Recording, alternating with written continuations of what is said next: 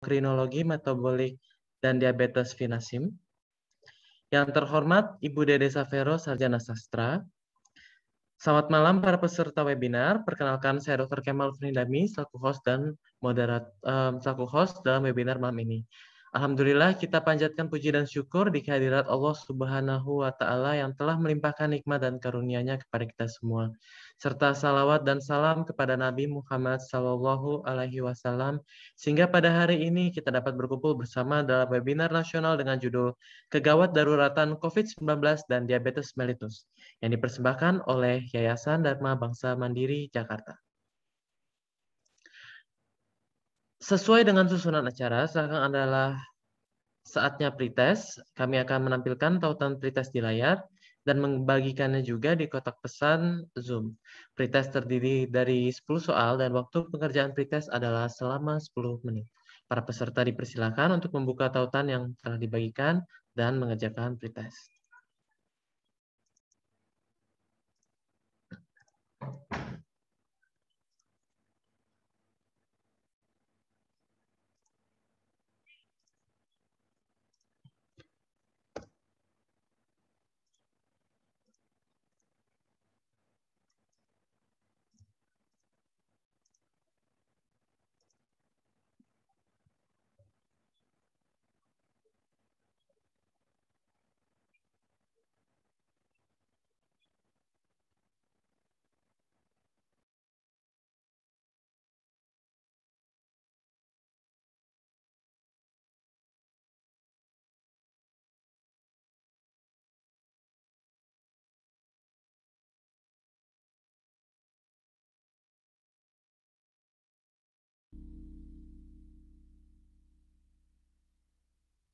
Mm-hmm.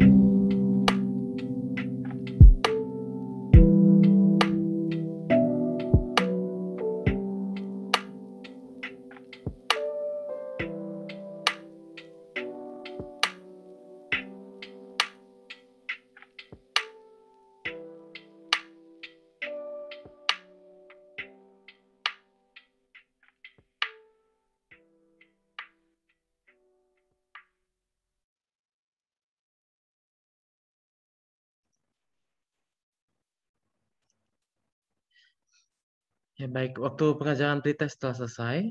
Sebelum kita mulai webinar malam ini, mari kita nyanyikan lagu Indonesia Raya diikuti dengan menyanyikan cipta.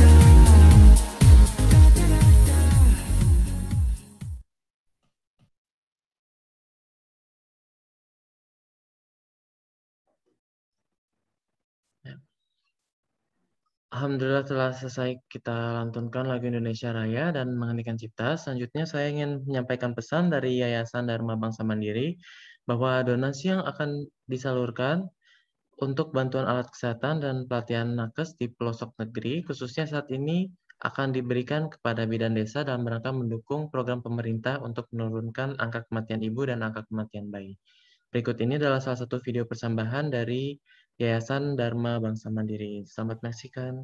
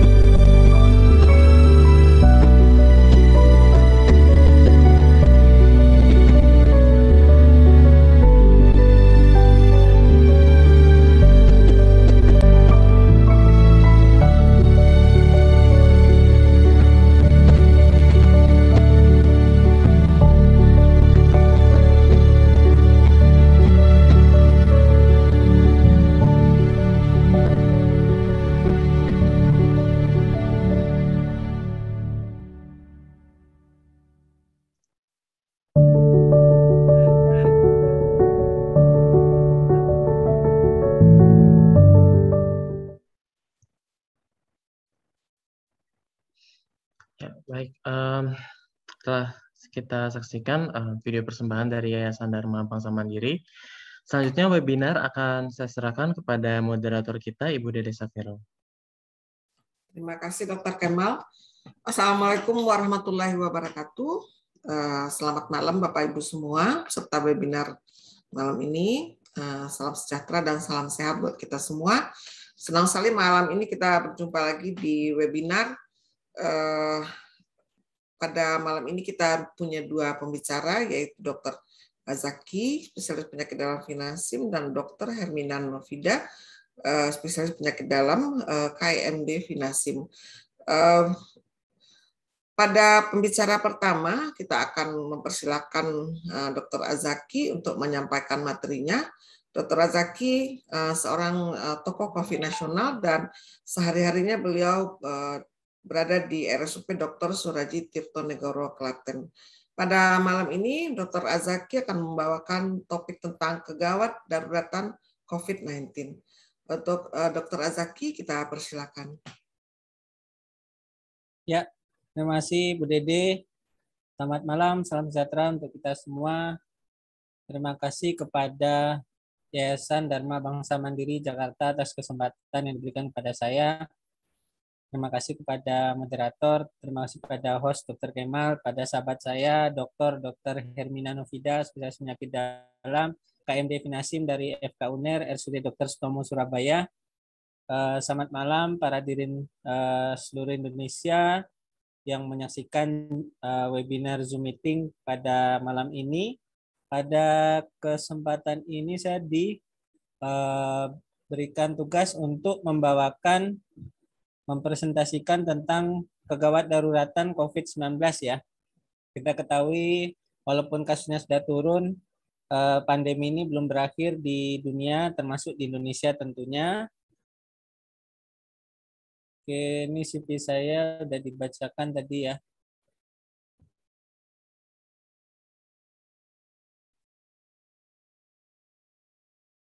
Oke. Uh, seberapa banyak sih orang yang terinfeksi COVID-19? Ya, ini kita lihat uh, ternyata di seluruh dunia itu sudah lebih dari 256 juta kasus ya.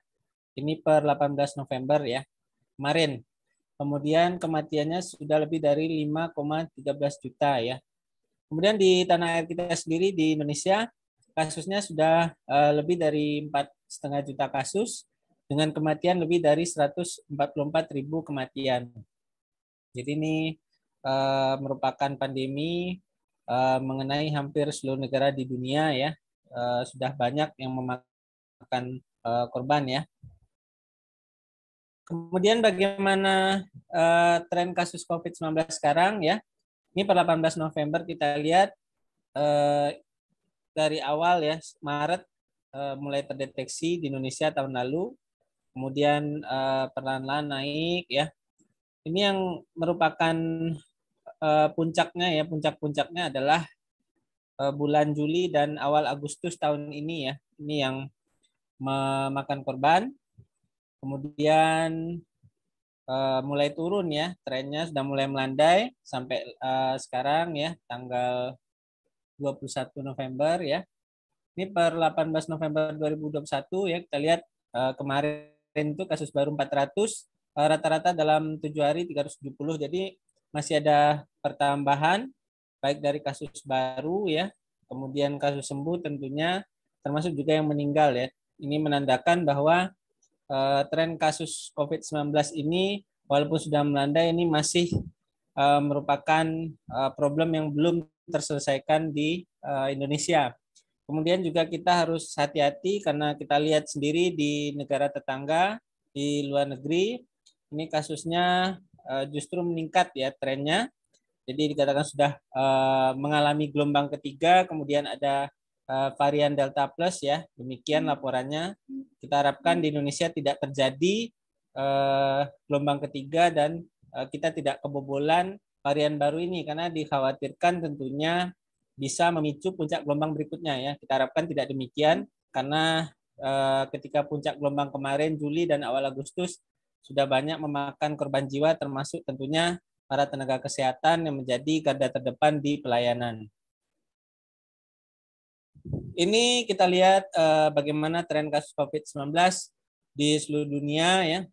Jadi kalau di seluruh dunia memang eh, trennya itu ada puncak-puncaknya ya. Jadi eh, kita lihat ya eh, akhir tahun kemarin itu sekitar November, Desember ya. Kemudian eh, turun di Februari 2021, kemudian naik lagi di Mei, kemudian turun lagi, naik lagi di pertengahan Agustus, turun lagi, kemudian ini naik lagi ya. Katanya ada varian Delta Plus sekarang kemudian di beberapa negara mengalami gelombang ketiga ya. Jadi uh, di seluruh dunia justru uh, tren kasusnya belum landai seperti di Indonesia. Tapi kita harapkan di Indonesia tidak seperti tren kasus COVID-19 secara global tentunya. Bagaimana keterlibatan organ pada coronavirus disease 19 atau COVID-19 ya? Karena saya membawakan kegawat daruratan COVID-19 ini sekilas ya, jadi COVID-19 ini disebabkan oleh virus RNA SARS-CoV-2 ya.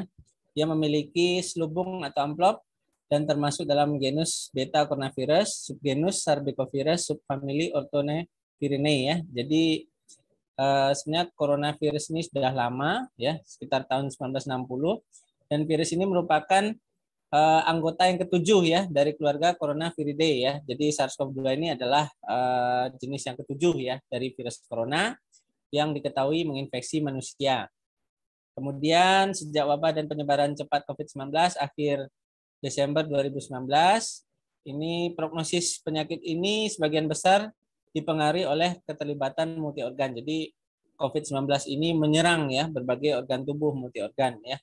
Kemudian komorbidnya seperti penyakit kardiovaskuler ini dikatakan menjadi faktor risiko paling umum pada keparahan dan kematian ya. Nanti akan kita bahas bagaimana eh, berbagai sistem organ diserang oleh SARS-CoV-2 ini. Ini sebagai pendahuluan ya, kita lihat ya. Jadi ada respon hiperinflamasi tubuh, jadi ada peradangan inflamasi sistemik hiperinflamasi ya ditambah dengan efek langsung dari SARS-CoV-2 pada organ tubuh melalui S2 ya. Ini telah dikaitkan dengan komplikasi penyakit. Kemudian eh, sindrom gangguan pernafasan akut, gagal jantung, kegagalan ginjal, kerusakan hati, kemudian shock dan kegagalan multi organ telah mempercepat kematian ya. Jadi intinya eh, SARS-CoV-2 ini eh, kerjanya adalah melalui eh, reseptor S2, kemudian dia menyebabkan uh, berbagai gangguan di sistem organ tubuh intinya demikian.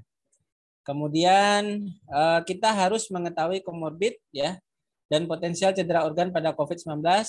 Ini penting sangat penting dalam manajemen klinis pasien karena kalau kita uh, tidak tahu ya bagaimana patofisiologi penyakit ini, kemudian sistem-sistem organ yang diserang, tentunya kita akan kesulitan dalam penanganan pasien ini sehingga prognosisnya akan semakin memburuk dan akan mempercepat kematian. Intinya demikian. Oke, kita lihat bagaimana rute transmisinya. Jadi dari hewan ke manusia ya, sama-sama kita ketahui ini yang kita anut. Jadi ini adalah suatu penyakit zoonosis ya dari hewan ke manusia, dari hewan liar yang diperdagangkan di pasar makanan laut Wuhanan di Wuhan ya. Ini yang masih kita yakin sampai sekarang.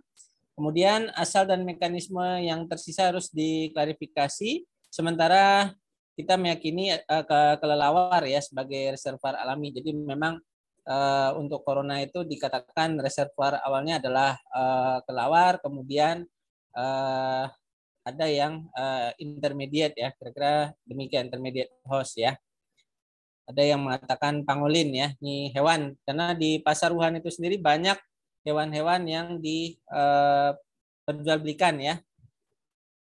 Kemudian ini rute transmisi sama-sama kita ketahui uh, wabah ini berkembang penularannya dari orang ke orang ya menjadi mode utama penyebaran daripada SARS-CoV-2 ini lewat droplet. Yang pertama droplet itu adalah eh, partikel-partikel uh, kecil yang dilepaskan lewat batuk atau bersin. Kemudian aerosol ya. Jadi uh, prosedur-prosedur klinis biasanya menghasilkan aerosol. Contohnya misalnya mangap itu buka mulut ya uh, pada sejawat THT sejawat uh, gigi ya, dokter gigi ya, ini bisa uh, mengakibatkan penularan dari orang ke orang ya, manusia ke manusia. Kemudian kontak membran mukosa dengan vomit benda mati. Jadi misalnya kalau uh, virus tersebut nempel ya, misalnya di meja atau di kursi benda-benda mati, terus kita sentuh ya, kemudian kita pegang wajah itu dia bisa masuk melalui port of entry-nya itu mulut atau hidung ya, sehingga masuk ke dalam tubuh kita. Kemudian juga transmisi uh, tinja oral dan fekal oral dipertimbangkan karena terdeteksi juga RNA virus ini dalam tinja ya. Kemudian banyak juga gejala-gejala saluran cerna yang dilaporkan ya. Nanti kita bahas uh, bagaimana uh, pengaruh virus ini pada sistem gastrointestinal ya. Kemudian juga ada ekspresi S2 sepanjang saluran cerna ini uh, menyebabkan bahwa transmisi tinja oral juga menjadi hal yang dipertimbangkan untuk penularan daripada virus ini.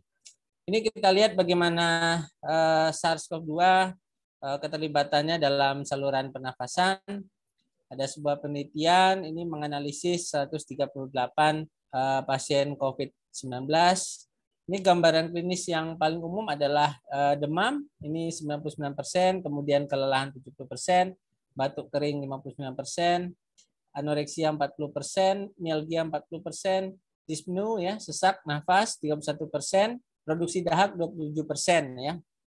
Kemudian ada studi kohort ini melaporkan temuan klinis yang serupa ya, namun uh, dikatakan bahwa demam uh, mungkin bukan temuan universal. Jadi tidak semuanya pasien COVID-19 itu disertai dengan demam ya walaupun ada studi tadi yang mengatakan demam itu 99%. Pada studi kohort ini dikatakan uh, hanya 20% ya dari pasien COVID ini yang mengalami demam ya dengan suhu kurang dari 100,4 derajat Fahrenheit atau 38 derajat Celcius. Dan studi yang lain melaporkan demam terjadi pada 44% pasien. Jadi uh, persentase demam ini berbeda-beda tiap uh, laporan uh, daripada penelitian yang dilakukan terhadap pasien-pasien uh, COVID-19 ya. Kemudian gejala-gejala yang dikatakan juga kurang umum meliputi sakit kepala, kemudian sakit tenggorokan, dinore ya. Ini yang uh, dikatakan kurang umum ya pada uh, keterlibatan saluran nafas pada pasien-pasien COVID-19.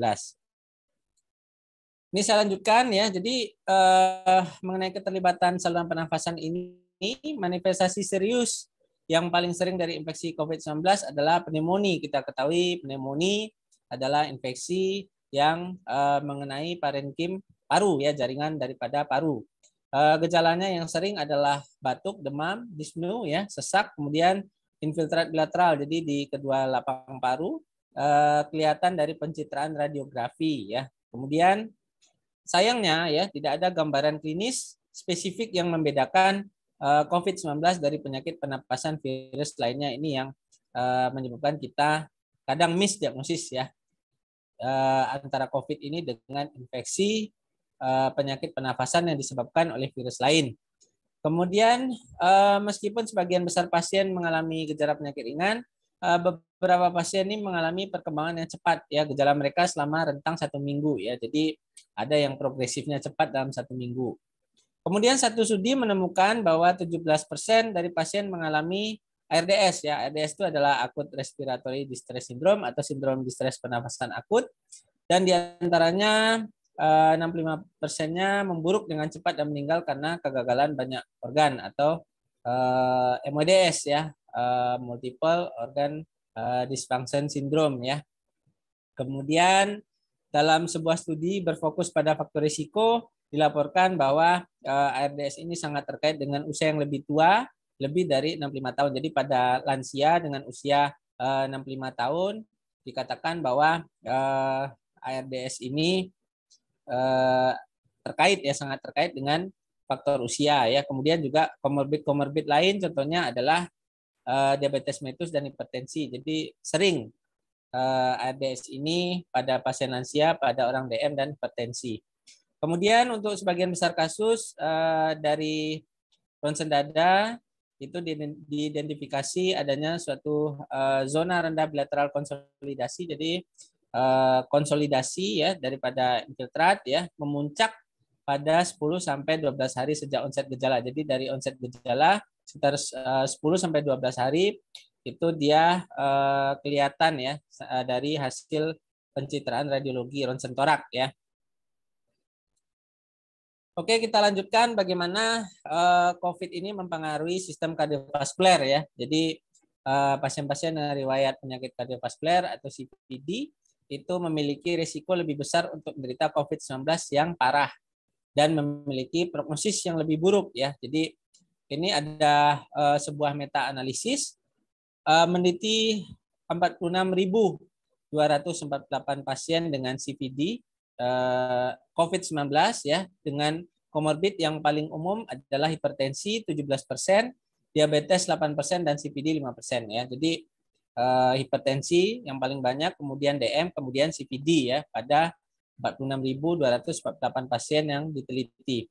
Kemudian eh, CVD dan hipertensi dikatakan juga lebih lazim pada kelompok pasien yang parah dibandingkan eh, dengan kasus yang tidak parah ya. Ini dari odds ratio. Jadi eh, kedua penyakit ini ya komorbid ini lazim ya ditemukan pada kelompok pasien yang mengalami keparahan COVID-19 ya. Kemudian CVD yang ada juga dikaitkan dengan mortalitas atau angka kematian yang lebih tinggi ya. Kemudian di sisi lain secara luas COVID-19 ini dikatakan juga memiliki efek yang buruk ya pada kesehatan kardiovaskuler sendiri ya. Ini menyebabkan atau memperparah kerusakan jantung. Kemudian ada ke, uh, laporan suatu keterlibatan kardiogenik pada pasien tanpa CVD. Jadi uh, tanpa CVD justru uh, ternyata uh, jantung itu sendiri bisa dirusak ya, kira-kira demikian oleh COVID-19. Kemudian bagaimana mekanisme keterlibatan kardiovaskuler dalam COVID-19 ini memang uh, belum kita pahami secara baik, namun dari penelitian ditemukan bahwa ada peningkatan kadar biomarker ya daripada jantung. Jadi sering ditemukan peningkatan kadar biomarker jantung. Ini ada sebuah studi oleh Wong et al. Dikatakan 7,2 persen pasien mengalami uh, peningkatan kadar troponin. Jadi sering uh, pada pasien-pasien dengan comorbid uh, eh, CVD ya atau pasien-pasien dengan uh, kemungkinan keterlibatan jantung ini kita cek kadar biomarker jantung karena uh, ada peningkatan ya uh, pada pasien-pasien COVID ini dikatakan demikian karena ada ada keterlibatan kardiovaskuler di situ. Kemudian badai sitokin dari peradangan sistemik dan keadaan hipoksia dari ARDS ini akan menginduksi kadar kalsium ekstraseluler yang berlebihan yang mengarah ke uh, apoptosis miosit ya yang juga merupakan uh, mekanisme kerusakan yang mungkin terjadi ya. Kemudian juga peningkatan kadar sitokin ini ini terjadi karena respon hiperinflamasi atau limfohistiositosis, hemofagositosis sekunder dan peningkatan demand atau kebutuhan kebutuhan daripada miokard atau otot jantung dalam pengaturan infeksi akut ini bisa menyebabkan ketidakstabilan plak aterosklerotik dan cedera miokard ya. Kemudian meningkatkan resiko infak miokard akut ya. Kemudian juga eh, adanya kelainan tekanan darah ya sebagai respon terhadap penyakit ini. Jadi memang di sini keterlibatan kardiovaskuler pada COVID walaupun belum dipahami dengan pasti eh, dari penelitian ini ada eh, peningkatan daripada troponin dan juga mekanisme-mekanisme respon hiperinflamasi dan tentunya keterlibatan keterlibatan mediator-mediator peradangan yang bisa menyebabkan uh, resiko aterosklerotik dan uh, cedera miokard ya atau otot jantung. Kemudian juga dilaporkan adanya aritmia ya. Jadi aritmia uh, dilaporkan sebagai salah satu manifestasi klinik ya dari uh, COVID-19. Jadi uh, aritmia ini dikatakan bervariasi dan etiologinya multifaktorial ya di, dimulai dari keadaan hipoksia karena ARDS sampai miokarditis ya. Ini ada penelitian dari uh, Wu et al dan Zeng et al melaporkan bahwa pasien dengan uh, penurunan fraksi ejeksi dan pembesaran jantung ya. Jadi uh, kondisi-kondisi aritmia menjadi salah satu manifestasi klinis dari COVID-19. Kemudian kemungkinan efek jangka panjang COVID-19 pada sistem kardiovaskuler seperti risiko gagal jantung juga harus dipertimbangkan dan disediki lebih lanjut ya. Kemudian di sini ada suatu teori bahwa efek penghambat enzim pengonversi angiotensin atau ACE dan reseptor angiotensin 2 blocker atau RB pada kerentanan dan prognosis COVID-19 ini memang masih kontroversial, tapi beberapa bukti menunjukkan bahwa peningkatan ekspresi S2 memfasilitasi infeksi COVID-19 Sementara yang lain menyatakan efek menguntungkan potensial daripada uh, penurunan cedera paru-paru. Jadi uh, ini yang uh, menjadi patogenesis kardiovaskuler pada COVID-19. Kita lanjutkan ya, ini bagaimana uh, keterlibatan ginjal pada COVID-19. Uh, jadi pada COVID-19 itu bisa terjadi cedera ginjal akut, yaitu hilangnya fungsi ginjal mendadak dalam kurun tujuh hari ya. Ini dikatakan kejadiannya telah diamati dengan infeksi SARS dan MERS ya. Jadi sebelum COVID memang ada uh, pandemi SARS dan MERS ya, uh, SARS di Hong Kong, MERS di uh, Arab ya. Uh, di sini dikatakan bahwa patogenesis daripada keterlibatan ginjal dalam infeksi COVID-19 memang belum jelas ya. Dilaporkan uh, cedera ginjal dalam COVID-19 ini menyertai keadaan sepsis, kegagalan multi organ dan shock dan dipikirkan menjadi penyebab daripada ATN. ATN itu adalah akut tubular necrosis. Kemudian uh, sebagai alternatif ada suatu penelitian ini berdasarkan analisis transkriptom sel tunggal ini menyatakan bahwa ekspresi reseptor S2 di sel ginjal ini menunjukkan uh, kerusakan sel ginjal langsung diakibatkan oleh SARS-CoV-2. Uh, eh, didukung oleh deteksi SARS-CoV-2 dalam sampel urin dari pasien yang terinfeksi. Jadi uh, SARS-CoV-2 ini uh, dia bisa menyerang langsung dan menyebabkan kerusakan daripada sel-sel ginjal dan terdeteksi di urin pasien yang terinfeksi. Kemudian pada beberapa pasien konsekuensi metabolik dari cedera ginjal akut ini tidak dapat dikontrol secara memadai dengan manajemen konservatif. Jadi terapi obat-obatan saja ini tidak cukup sehingga harus dilakukan renal replacement terapi ya. Contohnya HD atau cuci darah ya, hemodialisa. Kemudian ada sedikit atau tidak ada bukti bahwa waktu inisiasi modalitas dan dosis terapi pengganti ginjal ini dia memiliki perbedaan dalam hasil ya. Kemudian CRRT atau Continuous Renal Replacement Therapy uh, dikatakan telah berhasil diterapkan dalam pengobatan SARS, MERS, dan sepsis dengan keterlibatan ginjal ya sehingga eh, CRRT ini bisa digunakan sebagai modalitas tata laksana pada pasien COVID-19 dengan keterlibatan ginjal ya. Jadi kalau misalnya kita memberikan terapi kemudian tidak ada perbaikan daripada fungsi ginjal urea kreatinin, kita bisa uh, melakukan uh, renal replacement terapi ya, HD cuci darah ya untuk uh, memperbaiki kondisi cedera ginjal akut pada pasien SARS-CoV-2. Kemudian saya lanjutkan bagaimana keterlibatan gastrointestinal atau GI tract pada COVID-19. Ini sebagian besar pasien melaporkan gejala gastrointestinal seperti diare, mual, muntah, dan sakit perut dengan beberapa melaporkan gejala ini sebagai satu-satunya keluhan ya. Jadi eh, terkadang pasien-pasien dengan gejala mah, gejala lambung dan usus ternyata merupakan eh, pasien COVID-19. Kemudian insiden gejala gastrointestinal ini di samping deteksi SARS-CoV-2 RNA dalam sampel tinja pasien yang terinfeksi menunjukkan bahwasannya reseptor S2 sangat diekspresikan dalam saluran gastrointestinal yang merupakan target daripada infeksi SARS-CoV-2 sehingga sering juga pasien-pasien mengalami eh, kondisi-kondisi dan gangguan serta keluhan daripada gastrointestinal. Kemudian ada cedera hati ringan dan sementara serta kerusakan hati yang parah ini dapat terjadi pada COVID-19. Wong et al. ya penelitian ya di Cina menunjukkan bahwa 14,8 sampai 53,1 persen pasien COVID dikatakan um, memiliki kadar ALT dan AST ya, SGOT, SGPT dan bilirubin yang tidak normal selama perjalanan penyakit. Jadi sering kali kita cek fungsi livernya ya, ALT, AST, alanin aminotransferase, aspartat aminotransferase, bilirubin meningkat ya pada pasien SARS-CoV-2. Kemudian juga dilaporkan uh, tingkat keparahan kerusakan hati dengan uh, kadar gamma glutamil transferase atau GGT juga mengalami peningkatan pada 54% pasien dalam satu penelitian kohort yang mencakup 56 pasien COVID-19. Jadi uh, bisa terjadi peningkatan GGT juga.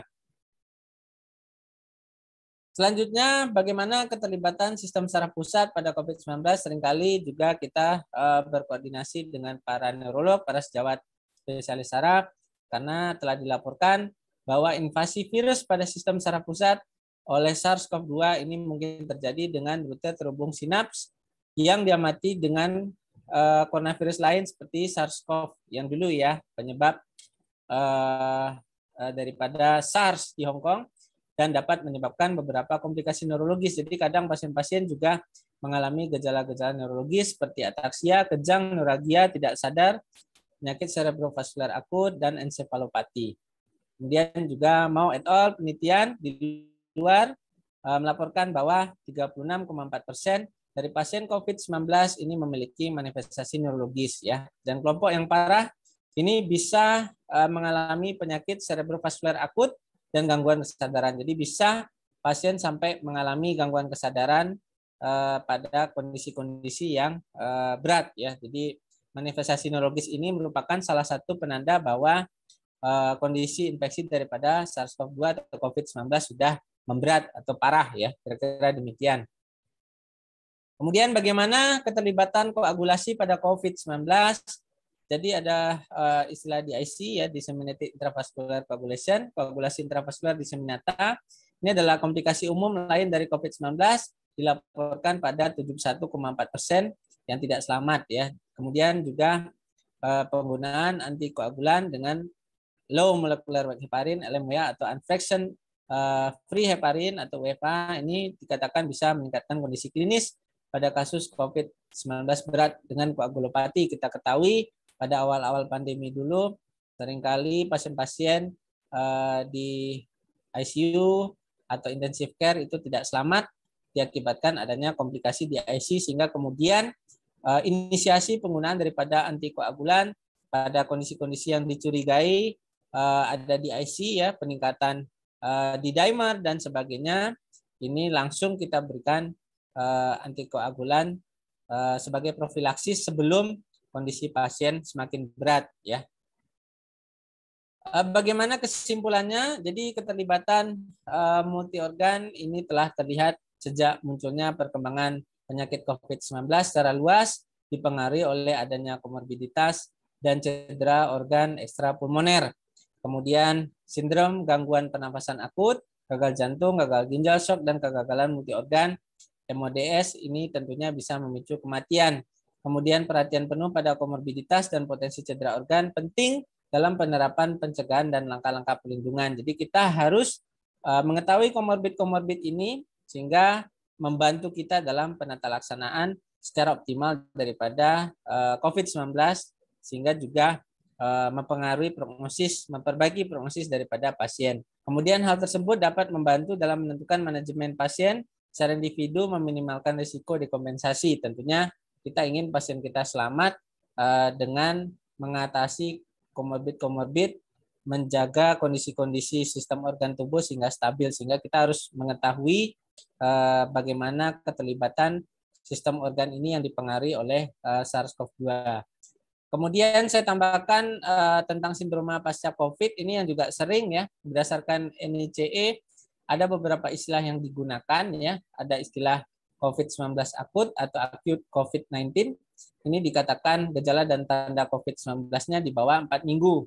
Kemudian COVID-19 simptomatik yang sedang berlangsung atau ongoing symptomatic COVID-19. Ini gejala dan tanda COVID-nya 4 hingga 12 minggu. Kemudian ada sindroma pasca COVID-19.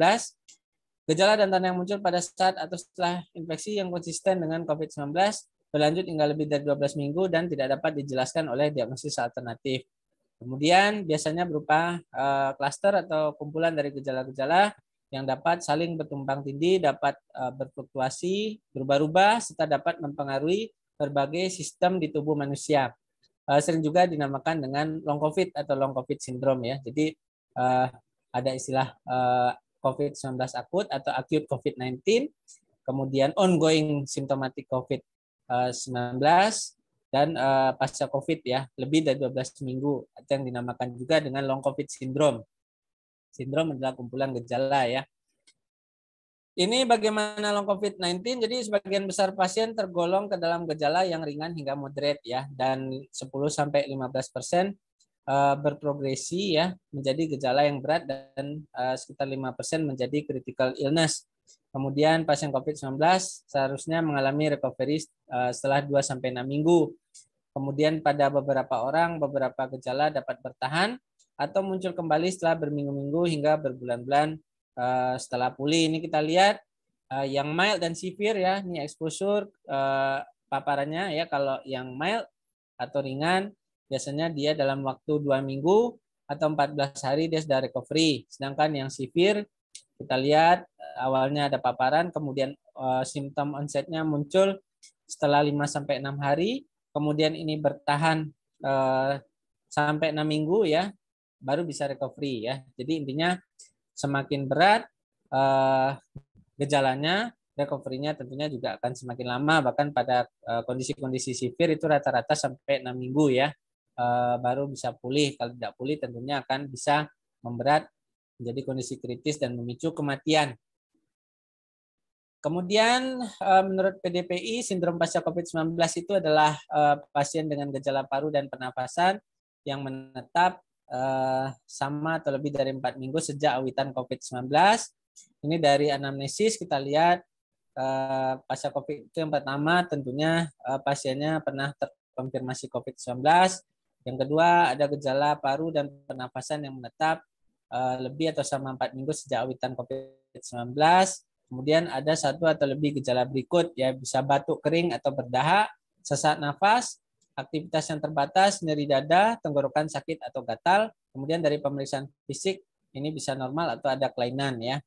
Ini yang uh, berdasarkan PDPI untuk sindroma pasca COVID-19.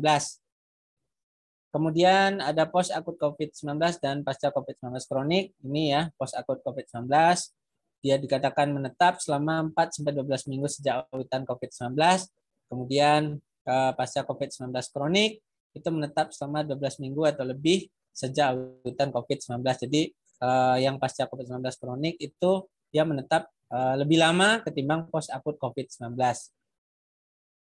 Ini beberapa gejala yang sering ditemukan. Yang pertama adalah fatik atau lemah, anosmia, ya, agisia, kehilangan penciuman, diare mual, confusion, bingung ya, kemudian nyeri abdomen dan nyeri dada, kemudian sakit kepala dan nyeri badan ya, kemudian batuk, kongesti dan sesak nafas.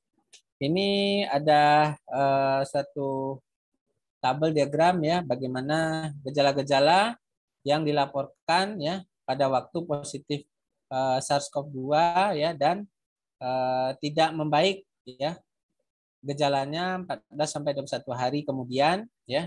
Ini yang sering kita lihat di sini uh, seperti batuk ya, kemudian fatik, sakit kepala ya, kemudian badan uh, nyeri-nyeri ya, kemudian demam, menggigil nih sedikit, mual-mual juga sedikit ya. Jadi yang sering memang kita lihat di sini adalah uh, fatik dan batuk ya yang merupakan gejala-gejala uh, pasca COVID-19.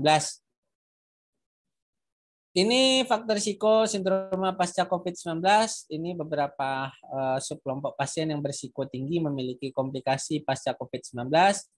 Yang pertama adalah pasien usia lanjut lebih dari 60 tahun, kemudian pasien-pasien dengan komorbid, pasien yang membutuhkan terapi oksigen ketika dipulangkan dari perawatan COVID-19, pasien yang membutuhkan uh, ventilasi non-invasif dan ventilasi mekanik selama masa perawatan COVID-19, Kemudian pasien dengan riwayat penyakit paru kronik sebelumnya ini uh, beberapa kelompok pasien yang berisiko tinggi untuk terjadinya komplikasi pasca COVID-19.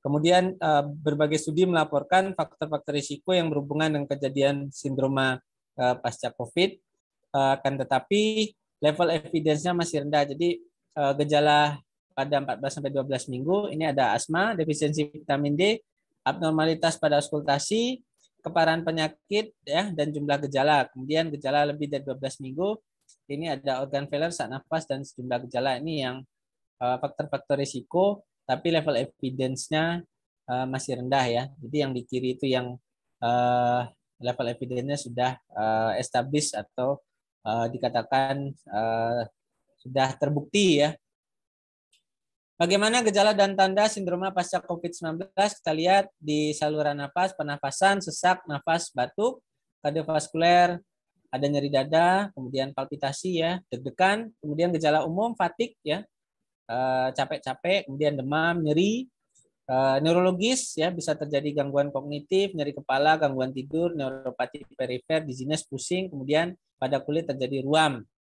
Kemudian di gastrointestinal ada nyeri perut, mual, diare, penurunan nafsu makan, muskuloskeletal, nyeri sendi, nyeri otot, psikologis atau psikiatris ya, ada gejala depresi dan ansietas, THT, tinnitus, telinga berdenging, nyeri telinga, nyeri tenggorokan, anosmia, uh, gangguan penciuman ya. Ini merupakan uh, beberapa gejala dan tanda sindroma pasca COVID-19 pada berbagai sistem organ. Bagaimana dengan long COVID-19 di Indonesia? Kita lihat uh, 63,5 persen penyintas COVID-19 di Indonesia memiliki long COVID. Jadi uh, separuh daripada penyintas di Indonesia mengalami gejala pasca COVID. Ya, ini kita lihat ya. Yang tidak itu berarti sisanya ya yang tidak mengalami uh, long COVID syndrome yaitu 36,5 persen ya.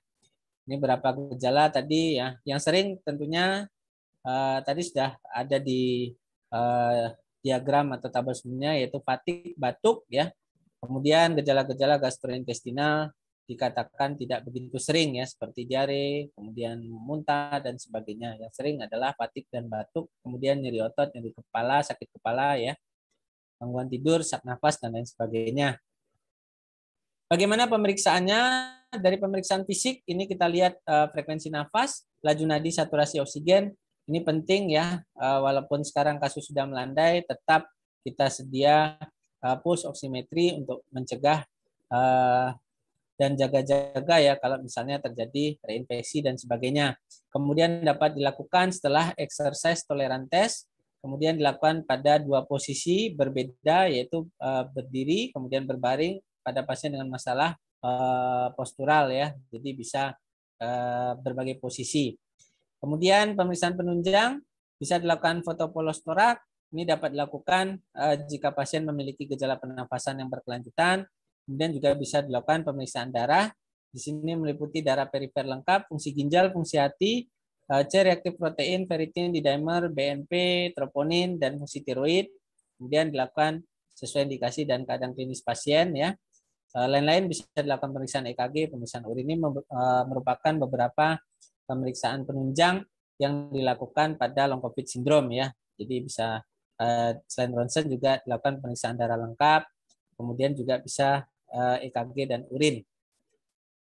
Ini tadi lab ya sudah saya jelaskan ya SPO2 saturasi ya, kemudian juga kita juga melakukan pemeriksaan radiologis tadi ya selain foto torak AP atau PA bisa dilakukan USG torak, kemudian uh, eh, HRCT, kemudian scan untuk menentukan uh, perfusi daripada paru, kemudian uji faal paru dengan jalan 6 menit, kemudian bisa dilakukan spirometri dan lain-lain.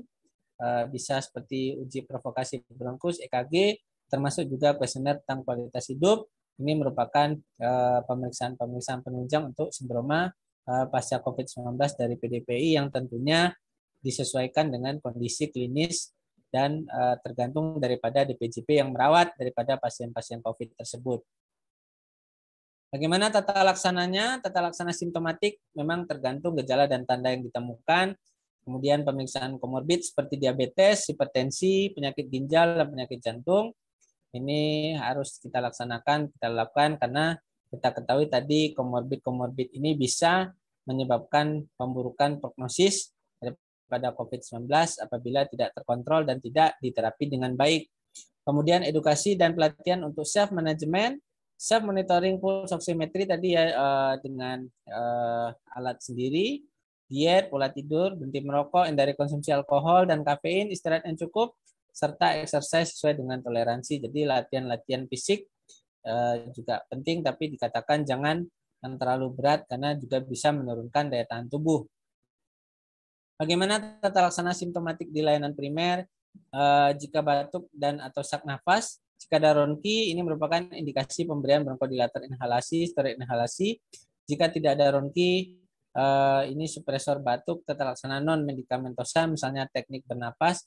Jika saturasi oksigen 90% diberikan terapi oksigen. Kemudian nyeri dada, ini jika dari anamnesis pemeriksaan fisik EKG dalam batas normal, ini bisa diberikan anti nyeri oral dan atau topikal. Kalau ada kelainan kardiovaskular kita rujuk. Kemudian fatik atau eh, capek-capek ya, capean ya. Uh, ini belum ada bukti yang kuat bahwa uh, graded exercise dapat membantu mengatasi kelang kronis pada pasien sindroma pasca COVID. Jadi latihan-latihan uh, berat uh, tidak dianjurkan pada pasien COVID ya. Ini bagaimana latihan teknik bernafas ya, teknik bernafas untuk pasien pasca COVID-19 penting untuk mengembalikan pola nafas yang terganggu akibat kondisi saat sakit. Ini pasien duduk dalam posisi yang tegap, kemudian tarik nafas melalui hidung dan buang nafas lewat mulut secara perlahan. Ini beberapa uh, tipsnya, dada dan bahu dalam kondisi rileks. Uh, rasio inspirasi ekspirasi satu banding dua, jadi inspirasinya lebih pendek daripada ekspirasi, ya menghirupnya lebih uh, cepat ya, kemudian dihembuskan nafas lebih lama. Kemudian dapat diulang-ulang setiap hari 5 sampai 10 menit setiap kalinya. Ya, ini bisa kita terapkan ya. Nanti slide-nya bisa dibagikan. Kemudian bagaimana self monitoring saturasi oksigen? Ini self monitoring menggunakan pulse oximeter sangat dianjurkan pada pasien dengan sesak yang persisten, terutama dengan gejala desaturasi saat aktivitas. Jika pemeriksaan dilakukan uh, secara jarak jauh, minta pasien untuk jalan 40 langkah pada permukaan rata, kemudian diperiksa saturasi. Jadi disuruh jalan 40 langkah, kemudian kita cek saturasi oksigen bisa dengan menggunakan pulse oximetry yang sangat simpel, bisa kita beli dapatkan di mana-mana ya. Kemudian jika pemeriksaan uh, dilakukan di fasilitas kesehatan, ini bisa pasien melakukan gerakan duduk ke berdiri ya. Ini kita lihat gambarnya ya, sit to stand dari duduk ke berdiri uh, secepat mungkin sesuai kemampuan pasien selama satu menit Kemudian diperiksa saturasi oksigennya. Apabila ada penurunan lebih atau sama 3% itu dikatakan abnormal.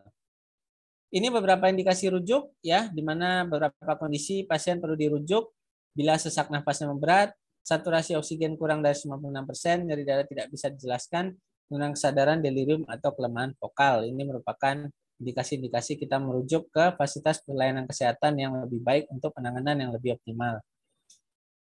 Demikian dari saya. Terima kasih atas perhatian para sejawat, para uh, penonton sekalian. Saya kembalikan ke moderator.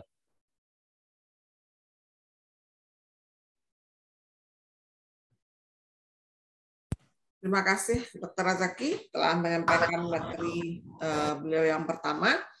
Uh, sebelum kita melangkah ke pembicara kita kedua, Eh, kita akan melihat eh, video yang ditayangkan oleh dari GTBM dan eh, saat ini kita juga memberitahu bahwa untuk sertifikat 2 SKPID mohon disertakan dengan donasi sukarela. Rekening donasi akan diberikan pada link presensi. Donasi akan disalurkan untuk bantuan alat kesehatan dan pelatihan nakes di pelosok negeri khususnya saat ini akan diberikan kepada bidan desa dalam rangka mendukung program pemerintah untuk menurunkan angka kematian ibu dan angka kematian bayi. Berikut salah satu penyaluran di pelosok Nusa Tenggara Timur dalam video berikut ini.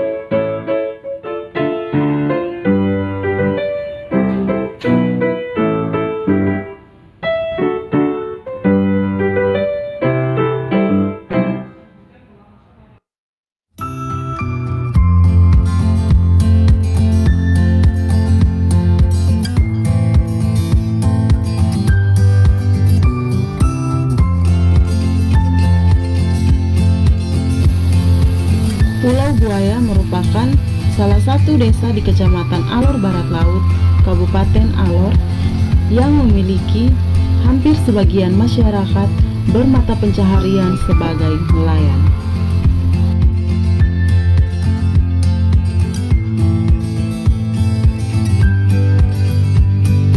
Waktu tempuh dari ibu kota kabupaten menuju pelabuhan penyeberangan Baolang kurang lebih satu jam menggunakan kendaraan bermotor.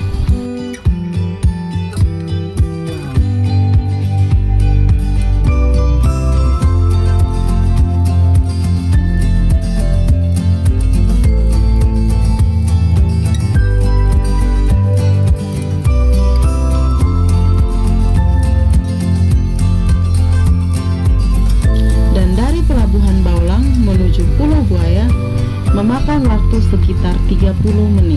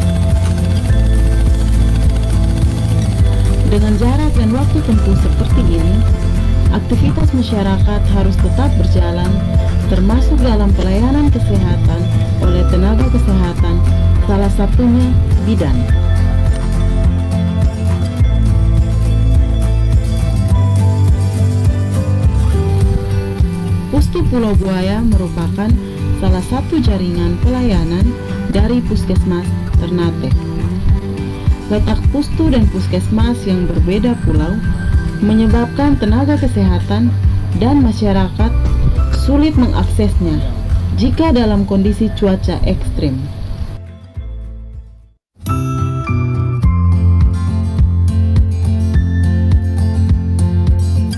Selain itu juga, keterbatasan alat medis yang tersedia di pustu mengakibatkan pasien harus dirujuk ke puskesmas.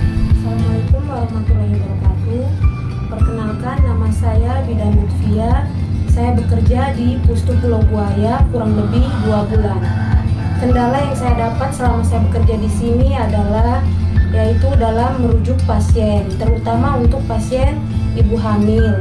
Dan kita harus melanggar lautan untuk pergi ke puskesmas dan apabila ibu gawat kita harus merujuk lagi ke, rumah sakit Kalabahi. Kemudian apabila cuaca ekstrim, badai, itu kita tidak bisa pergi ke sana. Dan dengan bantuan bidan kit pada bidan dari Yayasan Dharma Bangsa Mandiri, semoga dapat membantu kami untuk melayani masyarakat, terutama pada ibu hamil, khususnya di Pustu Pulau Buaya ini. Dengan adanya bantuan bidan kit yang diberikan oleh Yayasan Dharma Bangsa Mandiri, para bidan-bidan di pelosok Kabupaten Alor, salah satunya di Pulau Buaya, sangat terbantu dan sangat mempermudah mereka dalam melakukan pelayanan kesehatan, terutama untuk ibu hamil dan bayi balita di Pustu Pulau Buaya. Semoga dengan bantuan bidan kit ini, semua ibu hamil dapat melahirkan dan ditolong langsung oleh bidan di Pustu Pulau Buaya tanpa harus ke puskesmas Ternate.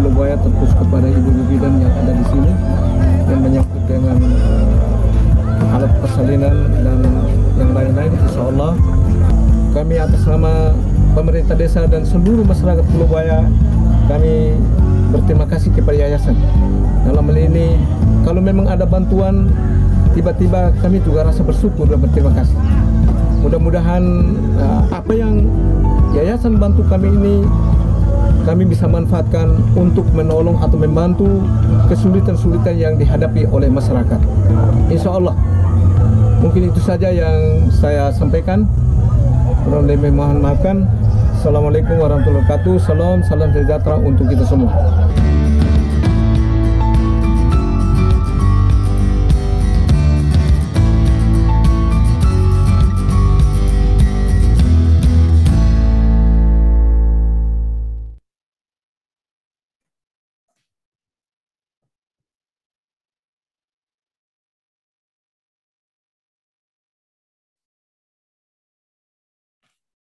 Oke, terima kasih kita sudah menyaksikan video dari Yayasan Dharma Bangsa Mandiri dan uh, kita akan beralih ke pembicara kita kedua uh, yaitu Ibu Dr. Hermina Nafida, spesialis penyakit dalam uh, KMD Finasim. Beliau seorang uh, konsultan diabetes uh, di RSUP Dr. Sutomo Surabaya dan juga beliau seorang pengajar di Fakultas Kedokteran Universitas Erlangga. Malam ini Dr. Hermina Novida akan membawakan tentang emergency of diabetes mellitus. Kepada Dr. Hermina, kita persilakan. Baik, terima kasih Bu Dede. Uh, saya terdengar ya? Dengar-dengar, Dok. Baik. Assalamualaikum warahmatullahi wabarakatuh. Selamat malam. Uh, sebelumnya saya ucapkan terima kasih pada eh, Dr. Azaki yang sudah mengundang saya juga Yayasan Dharma Bakti Mandiri, ya, juga senior dan sejawat sekalian yang sudah hadir pada malam hari ini. Baik, eh, tadi Dr. Azaki sudah menjelaskan bagaimana kegawatan di bidang COVID. Saya melanjutkan dengan bagaimana kegawatan di bidang diabetes mellitus. Ya. Seperti kita ketahui, 14 November kemarin kita baru saja memperingati Hari Diabetes Sedunia, ya, yang mengambil topik tentang uh, akses to diabetes care. Nah, kalau kita lihat eh, diabetes mellitus ini memiliki berbagai komplikasi ya, baik itu komplikasi akut maupun komplikasi kronik. Nah, untuk komplikasi akut ini menjadi salah satu emergensi di bidang diabetes ya, ada dua ya. Jadi kalau kita bagi ini hipoglikemi artinya gula darah yang terlalu rendah dan hiperglikemik krisis krisis hiperglikemia. Pada krisis hiperglikemia ini bisa berupa diabetik ketoasidosis ya, atau ketoasidosis diabetes, kemudian hiperosmolar hyperglycemic state atau yang disingkat dengan HHS, atau kalau dulu zamannya saya kuliah itu masih namanya kahong ya, koma hiperosmolar non ketopik ya, dan ketoasidosis laktat krisis hiperglikemi dan ada yang hipoglikemi. Nah, sekarang kita akan membahas dulu tentang hipoglikemi. Apa yang dimaksud dengan hipoglikemi dalam diabetes? Kita lihat dari ADA, American Diabetes Association, ini eh, mendefinisikan hipoglikemi itu sebagai gula darah kuat, eh, gula darah plasma ya, jadi kadar gula darah yang kurang dari 70 ya, terutama pada pasien-pasien yang mendapatkan insulin atau insulin sekretagok itu kita harus hati-hati, harus concern adanya efek samping atau resiko hipoglikemi ini. Sedangkan dari Perkeni tahun 2019 ya melalui konsensus pedoman penataran diabetes tipe 2 itu mendefinisikan hipoglikemi adalah penurunan gula darah kurang dari 70. Ya, jadi ini yang harus kita pahami dulu bahwa hipoglikemi itu kalau gula darahnya kurang dari 70 ya. Nah, ini klasifikasi dari EDA yang baru ya 2021 ya. Jadi ada tiga jenis hipoglikemi. Yang pertama adalah level 1 ya. Level 1 ini kalau gula darahnya kurang dari 70 tapi masih lebih dari sama dengan 54. Ini kita katakan sebagai hipoglikemi level 1 ya. Kemudian ada yang disebut dengan level 2. Jadi level 2 ini kalau gula darahnya kurang dari 54. Dan yang terakhir adalah level 3. Level 3 ini adalah kondisi yang severe ya, yang ditandai dengan perubahan mental ya atau perubahan status fisik ya tidak memandang kadar gula darahnya yang dia membutuhkan treatment. Ya, jadi kalau misalnya ada pasien kemudian kita jumpai koma dan terjadi ternyata mengalami hipoglikemi, maka dia termasuk hipoglikemi yang level 3. Tapi kalau misalnya pasiennya itu gula darahnya 40 ya, tapi masih sadar penuh, masih baik-baik saja, berarti dia masuk yang level kedua ya. Ini yang harus kita pahami dulu eh, klasifikasi yang baru tentang hipoglikemi. Nah, ada beberapa faktor yang bisa mempresipitasi atau memicu terjadinya hipoglikemi. Ya, yang jelas, yang jelas pada kondisi hipoglikemi itu biasanya bisa terjadi kenaikan kadar insulin. Ya, misalnya error ya, suntik insulin yang harusnya 10 eh, unit misalnya ternyata tidak kelihatan disuntikkan 30 unit. Nah, itu bisa terjadi hipoglikemi. Kemudian adanya peningkatan insulin bioavailability ya, misalnya pasien yang berolahraga ya. Kemudian injeksi insulin di abdomen itu cepat ya penyerapannya. Atau adanya perubahan jenis insulin atau munculnya insulin antibodi atau ada gagal ginjal, gagal liver ya, itu yang bisa menyebabkan terjadinya hipoglikemi. Eh, ada salah satu pasien saya tadi ya, dia harus cuci darah ya karena eh, komplikasi pada gangguan pada ginjal ya. Waktu ditanya apakah ada riwayat diabetes, oh ada, saya diabetes lima tahun yang lalu.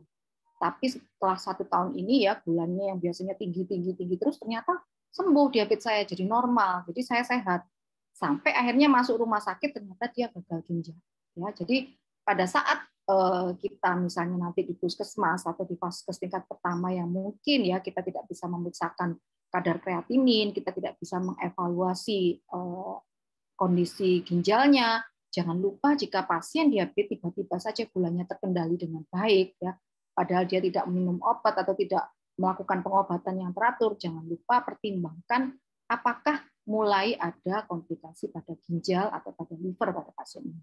Ini yang harus kita perhatikan dan sering terjadi di eh, masyarakat ya jadi menganggap bulannya sudah sembuh padahal ternyata dia jatuh ke komplikasi eh, kidney disease ya kemudian bisa juga penyebab yang lain karena mungkin pasiennya ini berolahraga ya itu sebabnya kalau misalnya pasien ini olahraga rutin ya mungkin dia membutuhkan adjustment dose dari insulinnya ya kemudian respon karbohidrat yang tidak adekuat misalnya lewat makannya atau makannya sedikit ya atau kondisi pasien ini lagi diare, lagi gastroenteritis akut misalnya, nah itu akan memunculkan resiko hipoglikemi. Ya. Dan ini faktor-faktor yang lain yang juga bisa menyebabkan hipoglikemi.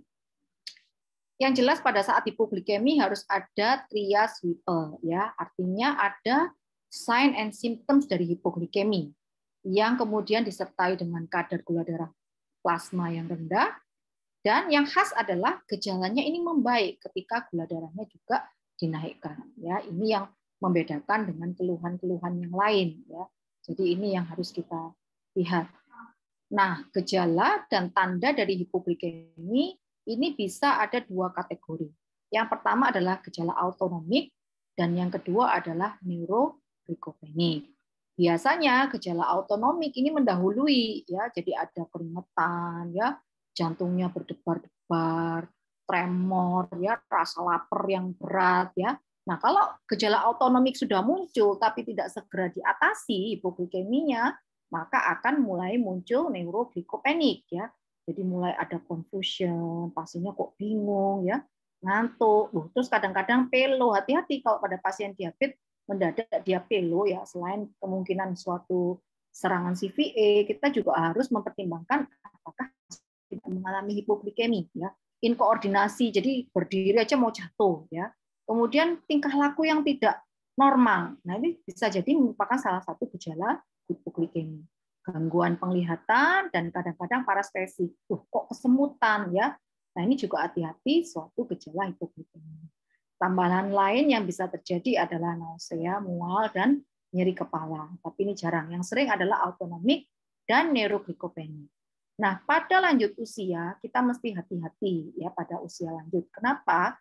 Karena pada usia lanjut sering sekali autonomiknya ini blunting ya. Jadi dia tidak bisa seperti orang muda yang kemudian dia bisa berdebar ya, keringetan ya, apalagi kalau misalnya dia sudah mendapatkan obat-obat beta blocker ya, maka sering akan terjadi masking ya. Nah, ini yang kita harus hati-hati. Sehingga kenapa pada terapi diabetes itu targetnya individual ya. Pada orang yang lanjut usia di atas 60 tahun ya itu biasanya dia akan memiliki target gula darah yang berbeda. Tidak boleh terlalu rendah. Kenapa? Karena kalau terjadi hipoglikemi otak itu hanya bisa memakai cadangan glukosa selama 6 jam ya kalau di atas 6 jam maka cadangan glukosa akan habis ya pasien akan jatuh pada gangguan kesadaran dan gangguan kesadaran pada hipoglikemi kalau misalnya dibiarkan lebih dari 6 jam itu kadang-kadang tidak kembali. Ini yang kita sebut dengan prolong koma hipoglikemi dan ini sering kejadian ya.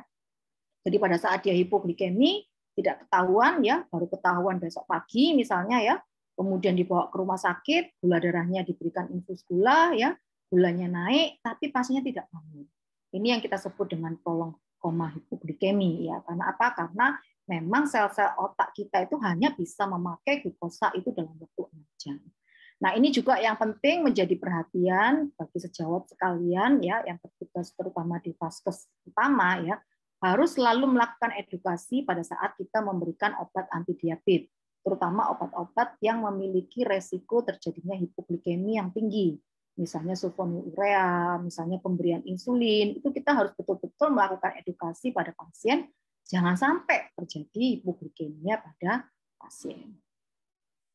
Nah, ini bagaimana treatmentnya? Ini dari konsensus Perkeni 2019. Kita lihat kalau hipoglikemianya ringan, pasien masih sadar ya, kita berikan makanan yang tinggi glukosa ya. Kemudian pilihannya glukosa murni ya, bentuk karbohidrat lain yang isinya glukosa juga efektif. Jadi kadang-kadang kita kasih teh manis ya atau kita kasih apa eh, madu ya. Ini bisa kita pakai pada treatment hipoglikemi. Hati-hati makanan yang mengandung lemak itu justru akan memperlambat respon kenaikan gula darah. Jadi jangan dikasih gorengan misalnya ya. Kemudian eh, glukosa 15 sampai 20 gram atau kurang lebih 2 sampai 3 sendok makan gula pasir bisa dilarutkan dalam air merupakan terapi pilihan pada pasien hipoglikemi yang masih sadar. Ya, uh, ada uh, salah satu kasus ya pasien saya itu kemudian dia hipoglikemi minum teh manis tapi tidak pakai gula ya gulanya dia pakai gula pemanis buatan yang nggak naik gulanya kok seperti itu. Jadi harus kita pesankan kalau pada saat kondisi hipoglikemi maka apa yang harus dilakukan oleh pasien harus kita lakukan edukasi. Nah, pemeriksaan glukosa darah dengan glukometer harus dilakukan 15 menit. Ya, jadi kalau misalnya ada pasien datang ke UGD, misalnya karena hipoglikemi, setelah kita lakukan pemberian glukosa darah, kita lakukan monitoring setelah 15 menit. Dan kalau 15 menit itu ternyata masih hipoglikemi, kita ulang kembali pengobatan tadi. Ya. Nah, jika sudah mencapai normal, pasien harus diminta untuk makan ya dan mengkonsumsi stek secara teratur.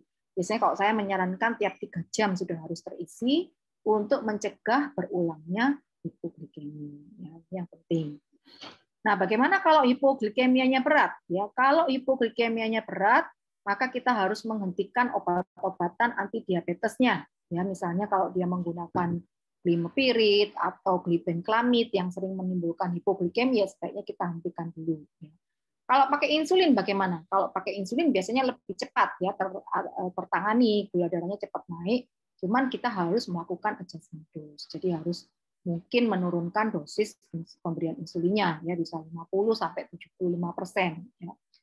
Kemudian kalau ada gejala neuroglycopenik ya tadi pasiennya sudah mulai geliyeng ya sudah mulai tidak sadar, bingung, maka sebaiknya diberikan terapi parenteral ya berupa pemberian dextrose 10 jadi D10 sebanyak 150 cc dalam 15 menit atau menggunakan dextrose 40 sebanyak 25 cc ya. Kalau ini dari guideline Perkeni. Kemudian kita lakukan pemeriksaan tiap 15 sampai 30 menit dengan target gula darahnya lebih dari sama dengan 70. Jika target itu belum tercapai, maka prosedurnya bisa diulang. Dan kalau gula darahnya sudah mencapai target, ya, maka kita berikan maintenance infus dextrose 10 ya. Kecepatannya berapa? Kecepatannya 100 cc per jam. Namun kita harus hati-hati pada pasien-pasien dengan gangguan ginjal atau gangguan jantung ya, karena ada keterbatasan jumlah cairan yang masuk. Dan pemberian glukagon 1 mg intramuskuler ini juga dapat diberikan sebagai alternatif terapi hipoglikemi. Jadi kalau di luar negeri, memang terapi utama hipoglikemia selain dextrose adalah glukagon. Jadi setiap pasien di negara maju ya, setiap pasien diabetes tipe 1 atau diabetes tipe 2 yang mendapatkan insulin atau sulfonylurea, dia akan dibekali oleh kit gula, uh, kit hipoglikemi ya. Jadi ada isinya itu tablet gula, kemudian ada injeksi glukagon. Harapannya nanti kalau sewaktu-waktu dia ditemukan tidak sadar karena hipoglikemi yang menolong itu bisa langsung menyuntikkan glukagon atau pasiennya sendiri bisa langsung menyuntikkan glukagon pada saat dia mengalami hipoglikemi. Sayangnya glukagon belum ada di Indonesia ya. Dan hati-hati pada pasien-pasien yang eh, terjadi malnutrisi kronik ya, jadi kurus banget ya. Misalnya pasien-pasien TB, kemudian penyalahgunaan alkohol ya, pasien dengan gangguan hati yang berat jangan diberikan glukagon. Karena apa? Karena cadangan glikogennya nggak ada. Jadi kalau diberikan glukagon ya nggak akan naik darahnya. Kemudian lakukan evaluasi terhadap pemicu hipoglikemi. Apa sih yang menyebabkan dia terjadi hipoglikemi ya? Bisa jadi kan obatnya sudah pakai lama, tapi kenapa kok dia muncul hipoglikemi? Nah, ini harus kita cari ya. Apakah pasien ini mulai ada komplikasi ke ginjal atau ke livernya ya? Apakah pasien ini ada kondisi infeksi yang menyebabkan dia tidak enak makan ya? Itu harus kita cari. Nah, kalau di Surabaya ya di tempat saya eh, Profesor Askandar jadi guru saya itu memberikan guideline praktis ya bagaimana mengatasi hipoglikemi tanpa kita berpikir panjang-panjang ya tadi ngitungi dosisnya berapa ya. Jadi kita biasanya memakai formula 3211. Jadi kalau gula darahnya kurang dari 30, kita berikan infus dextrose 40 sebanyak 3 vial. Kalau 30 sampai 50 yang kita berikan adalah 2 vial. Kalau 50 sampai 70 kita berikan 1 vial. Nah, kalau 70 sampai 90, nah ini kan sebetulnya belum hipoglikemi ya. Ini bisa terjadi pada pasien-pasien yang reaktif hipoglikemi. Jadi dia terbiasa dengan gula darahnya tinggi sehingga pada saat gula darahnya 70 sampai 90 dia sudah merasa keluhan hipoglikemi. Nah, ini sudah boleh kita berikan di 40 sebanyak satu vial. Ini yang biasanya kita pakai di Surabaya ya. Kemudian 15 menit setelah pemberian treatment kita lakukan tes gula darahnya. Kalau sudah di atas 100 ya sudah, nanti kita lanjutkan maintenance dengan eh, infus dextrose ya. Kemudian kalau masih kurang dari 100 kita berikan satu vial lagi. Cukup satu vial lagi. Tidak boleh kita berikan lagi empat vial, eh, tiga vial atau dua vial ya. Cukup satu vial lagi ya. Kenapa? Kalau kita berikan terlalu berlebihan, nanti kita akan memicu terjadinya honeymoon fenomen ya. Jadi insulin itu akan makin tinggi kadarnya karena kita memberikan glukos yang berlebihan ya.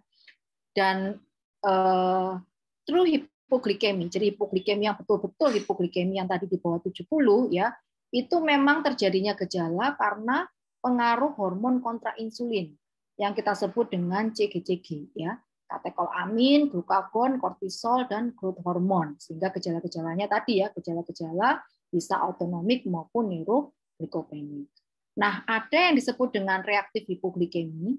Jadi reaktif hipoglikemi itu sebetulnya belum hipoglikemi tadi ya, misalnya masih 90 ya, sebetulnya kan tidak hipoglikemi.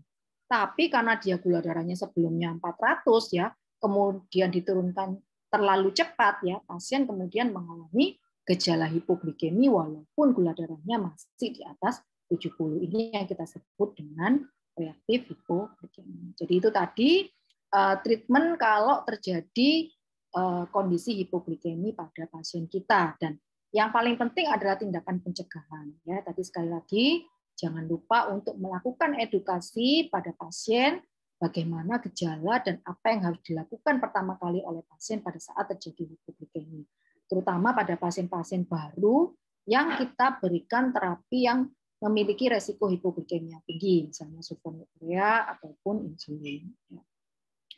Nah, tadi sudah kita bahas tentang hipoglikemi, sekarang kita menginjak hiperglikemi ya. Hiperglikemi yang paling sering adalah diabetik ketoasidosis dan HHS ya. Kalau ketoasidosis laktat itu sangat jarang ya. saya mungkin baru menjumpai dua atau tiga kasus ya, jadi sangat jarang. Jadi nanti yang kita bahas di sini lebih banyak adalah diabetik ketoasidosis dan HHS. Jadi kalau kita ingat diabetik ketoasidosis ya itu terdiri dari trias ya. Jadi ingat-ingat ada tiga. Ya. Yang pertama adalah kalau saya mudahnya adalah terjadi hiperglikemi dulu yang nomor satu. Jadi syaratnya terjadi diabetik ketoasidosis adalah ada hiperglikemi. Yang kedua karena ada hiperglikemi ya eh, karena insulin yang berkurang ya maka dia akan memicu terjadinya pemecahan dari free fatty acid ya asam lemak bebas. Nah, salah satu produk asam lemak bebas adalah badan keton. Sehingga selain hiperglikemi akan dijumpai juga ketonemi ya atau ketosis atau kalau misalnya keton darah tidak bisa kita periksa mungkin keton urin ya. Dan yang terakhir karena keton ini sifatnya adalah asam ya, maka kadar keton yang tinggi akan menyebabkan terjadinya asidosis atau asidemia di dalam tubuh pasien ya sehingga kalau ada diagnosis KAD, maka harus ada kriteria hiperglikemi, ketonemi atau keton urin, dan asidosis metabolik atau asidemia. Ya. Jadi sering sekali kalau ada ketoasidosis diabetes ini merupakan suatu indikasi terapi diabetes, eh, suatu indikasi diagnostis dari diabetes tipe 1 ya. Itu kalau di luar negeri ya. Jadi kalau di barat tuh banyak sekali kasus-kasus KAD itu karena diabetes tipe 1 ya. Tapi ternyata di negara kita banyak sekali kasus KAD yang terjadi pada diabetes tipe 2 ya. Dan pada diabetes tipe 1 maupun tipe 2 kalau terjadi KAD itu inisial treatmentnya sama, pengobatannya sama. Jadi pada saat kita menjumpai pasien dengan ketoasidosis diabetes, kita tidak perlu memikirkan ah ini diabetes tipe 1 atau tipe 2 ya. Kenapa? Karena pengobatannya sama. Jadi yang penting harus kita atasi ketoasidosisnya dulu. Nah, ini perbedaan dengan hiperosmolar hyperglycemic state. Kalau hiperglikemik hiperosmolar hyperglycemic state dia masih punya insulin yang cukup sebetulnya, tapi terjadi hiperglikemia yang tinggi ya. Sehingga karena tadi insulinnya masih ada, masih kekurangannya masih relatif ya, maka dia tidak terjadi ketonemi yang signifikan ya tidak terjadi keton urin. Dan karena tidak terjadi ketonemi dan keton urin, maka dia juga tidak terjadi asidosis metabolik ya. Tapi gula darah yang tinggi, sangat tinggi biasanya, itu menyebabkan terjadinya hipovolemik ya. Kenapa? Karena gula ini bersifat sebagai diuresis osmotik ya. Jadi pasien akan kencingnya banyak sekali. Dan karena kencingnya banyak sekali, cairan banyak yang hilang, maka osmolalitasnya akan meningkat sehingga akan terjadi hiper osmolar hiperglikemik state ya. Dan kadang-kadang gejala awal HHS maupun DKE ini sangat campur ya. Jadi kadang-kadang sulit dibedakan. Namun nanti eh, apa namanya? kita bisa menegakkan tadi berdasarkan beberapa gejala yang muncul. Nah, faktor pemicunya apa? Kenapa pasien diabetes itu bisa terjadi KAD atau HS? Yang paling sering adalah infeksi ya, urinary tract maupun paru ya COVID. Nah ini banyak sekali pasien COVID yang datang dengan ketoasidosis diabetes ya itu juga salah satu faktor pemicunya ya. Kemudian CVA, nah ini juga sering. Kemudian myokard infark ya, pankreatitis akut ya, penghentian obat terutama penghentian insulin ini pada diabetes tipe 1 sering ya. Eh, saya punya satu kasus di mana pasien saya ini masih anak ya, masih sekitar masih SMP mungkin ya Kemudian dia ini datang dengan KAD karena menghentikan insulin. Ternyata karena dia dibully sama teman-temannya. Kenapa kok dibully? Karena dia menyuntik insulin ya pada saat di sekolah dianggap dia ini eh, apa pemakai obat-obatan terlarang. Jadi karena dibully dia stres ya akhirnya insulinnya di stop ya akhirnya jatuh ke kondisi KAD. Nah, jadi memang kalau kita mengobati pasien diabetes kita harus holistik ya tidak hanya ngobati penyakitnya saja, ya tapi kita juga harus eh, menekankan juga dukungan keluarga dan dukungan sekolah ya terutama pada anak-anak yang eh, terkena diabetes. Ini juga harus kita perhatikan. Obat-obatan ini juga penting ya, steroid ya, apalagi pada COVID yang menggunakan high steroid ya. Kita ingat dexamethasonnya itu kan tinggi ya 6 mg kadang-kadang selama 10 hari ya. Ini bisa memicu terjadinya ketoasidosis diabetes kalau tidak kita atasi eh, gula darahnya ya. obat-obatan simpatomimetik dan obat-obatan tiazid itu juga salah satu obat yang bisa memicu terjadinya KAD walaupun jarang ya. Nah, ini patogenesis ya, patogenesis KAD dan HHS. Kenapa orang yang satu mengalami KAD tapi yang lain mengalami HHS? Nah, ini kalau kita lihat ya. Jadi kalau ada defisiensi insulin yang absolut ya, misalnya pada kasus-kasus tadi diabetes tipe 1 ya di mana dia kekurangan insulin ya, maka akan terjadi peningkatan lipolisis. Peningkatan eh, penurunan sintesis protein dan peningkatan proteolisis juga. Tujuannya apa? Tujuannya dia meningkatkan kadar gula darahnya. Kenapa? Karena pasien dalam kondisi gula darah itu tinggi tapi tidak bisa masuk ke dalam sel. Dia membutuhkan insulin. Nah, karena tidak ada insulin, maka ya gula darahnya tetap tinggi, yang di dalam sel tetap kelaparan ya. Akhirnya dia memberikan sinyal-sinyal untuk menaikkan lipolisis tadi ya dengan hasil akan terjadi peningkatan free fatty acid. Apa tujuannya? Tujuannya supaya gluconeogenesis, supaya meningkatkan glukosanya karena tadi selnya kan kelaparan ya. Nah, akibatnya terjadi peningkatan free fatty acid dengan hasil glukosa dan badan keton. Nah, badan keton ini sifatnya akan asam. Karena asam dia akan menurunkan cadangan alkali, jadi mengganggu keseimbangan asam basa di dalam tubuh ya terjadilah suatu ketoasidosis ya. Dan free fatty acid ini ternyata bisa memicu terjadinya peningkatan triacylglycerol sehingga terjadi kondisi hiperlipidemia pada pasien ya. Dan bedanya dengan yang HHS, kalau HHS itu defisiensi insulinnya masih relatif ya. Masih ada sebetulnya produksi insulin tapi karena gulanya saking tingginya tidak mencukupi ya, tidak mencukupi. Sehingga pada kondisi ini kita tidak menjumpai adanya ketoasidosis, tidak menjumpai ketogenesis, tidak ada asidosis metabolik. Tapi gula darahnya sama tingginya ya sehingga akan terjadi hiperglikemia. Karena hiperglikemia ini yang merupakan suatu diuresis osmotik ya akan terjadi glukosuria ya glukosuria yang akan ditandai oleh hilangnya cairan dan elektrolit terjadi dehidrasi ya bisa juga terjadi gangguan ginjal sampean ya ini yang terjadi pada pasien KAD dan HHS. Nah, bagaimana diagnosisnya? Apakah sulit kita mendiagnosis KAD maupun HHS? Bisa dilakukan ya. Ini hiperglikemi bisa kita cek dari gula darah ya. Kalau misalnya ada gula darah di atas eh, yang tinggi ya, kalau biasanya kalau KAD ini di atas 300, kalau HHS ini biasanya di atas 600 ya itu biasanya kita harus curiga apakah tidak ada KAD atau HHS pada pasien ini. Ya. Untuk deteksi tadi ya keton tadi kita bisa cek dari urinnya ya. Kalau tidak ada keton serum ya kita bisa ngecek dari keton urin. Dan kita lihat asidosisnya ya. Asidosis metabolik kok tidak ada blood case di tempat kami misalnya ya kita bisa lihat dari pernapasannya ya. Ingat pada pasien-pasien dengan asidosis metabolik nafasnya itu akan kusmal ya jadi kalau kita sudah pernah melihat pasien dengan pernafasan yang kusmal, asidosis metabolik, ya, maka kita tidak akan lupa, ya. Maka kita bisa dengan mudah secara klinis menentukan apakah ini ketoasidosis diabetes atau bukan, ya. Jangan lupa lakukan anamnesis dan pemeriksaan fisik, ya. Yang paling penting adalah adanya poliuri, polidipsi, ya, penurunan berat badan, ya, adanya gambaran dehidrasi, kelemahan dan perubahan status mental, ya. Terutama ini pada HHS ya. Pada HHS itu karena gula darahnya sangat tinggi ya maka dia akan merubah blood brain barrier sehingga kadang-kadang sering jatuhnya itu pasien datang eh, diduga sebagai CVA dulu ya. Ternyata dalam perjalanannya merupakan suatu HHS ya. Kemudian pemeriksaan fisik kita bisa menjumpai adanya turgor yang menurun karena dehidrasi nih ya respiratori yang kusmal tadi ya kalau pada KAD ya takikardi, hipotensi ya bisa terjadi perubahan status mental ya dan kadang-kadang pasiennya bisa kejang ya ini pada HS ini bisa terjadi ya. Kemudian adanya mual muntah dan nyeri perut ya. Ini justru dijumpai pada lebih dari 50% pasien KAD.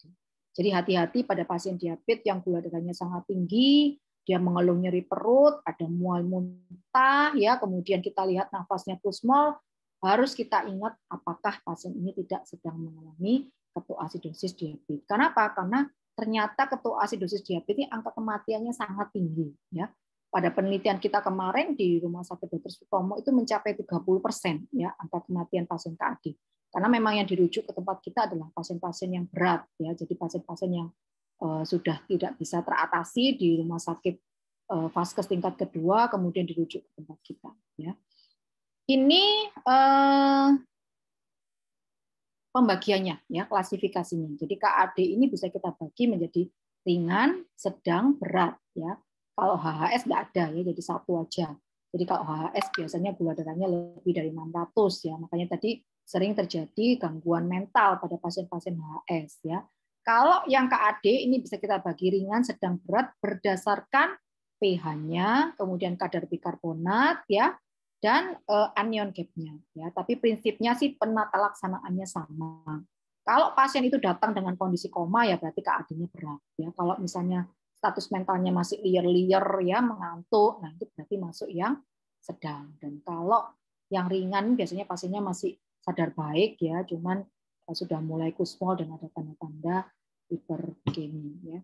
Nah ini eh, kalau di tempat kami ya Prof. Askandar itu memberikan jembatan keledai ya. Bagaimana mendiagnosis HHS ya. HHS itu paling gampang kita eh, ingat tetralogi satu yes tiga no ya.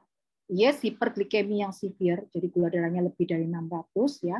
Tapi no history of DM ya jadi tidak ada riwayat diabetes atau diabetesnya baru. Baru terdiagnosis satu tahun baru terdiagnosis satu bulan. Tidak ada riwayat diabetes. Nah ini apa?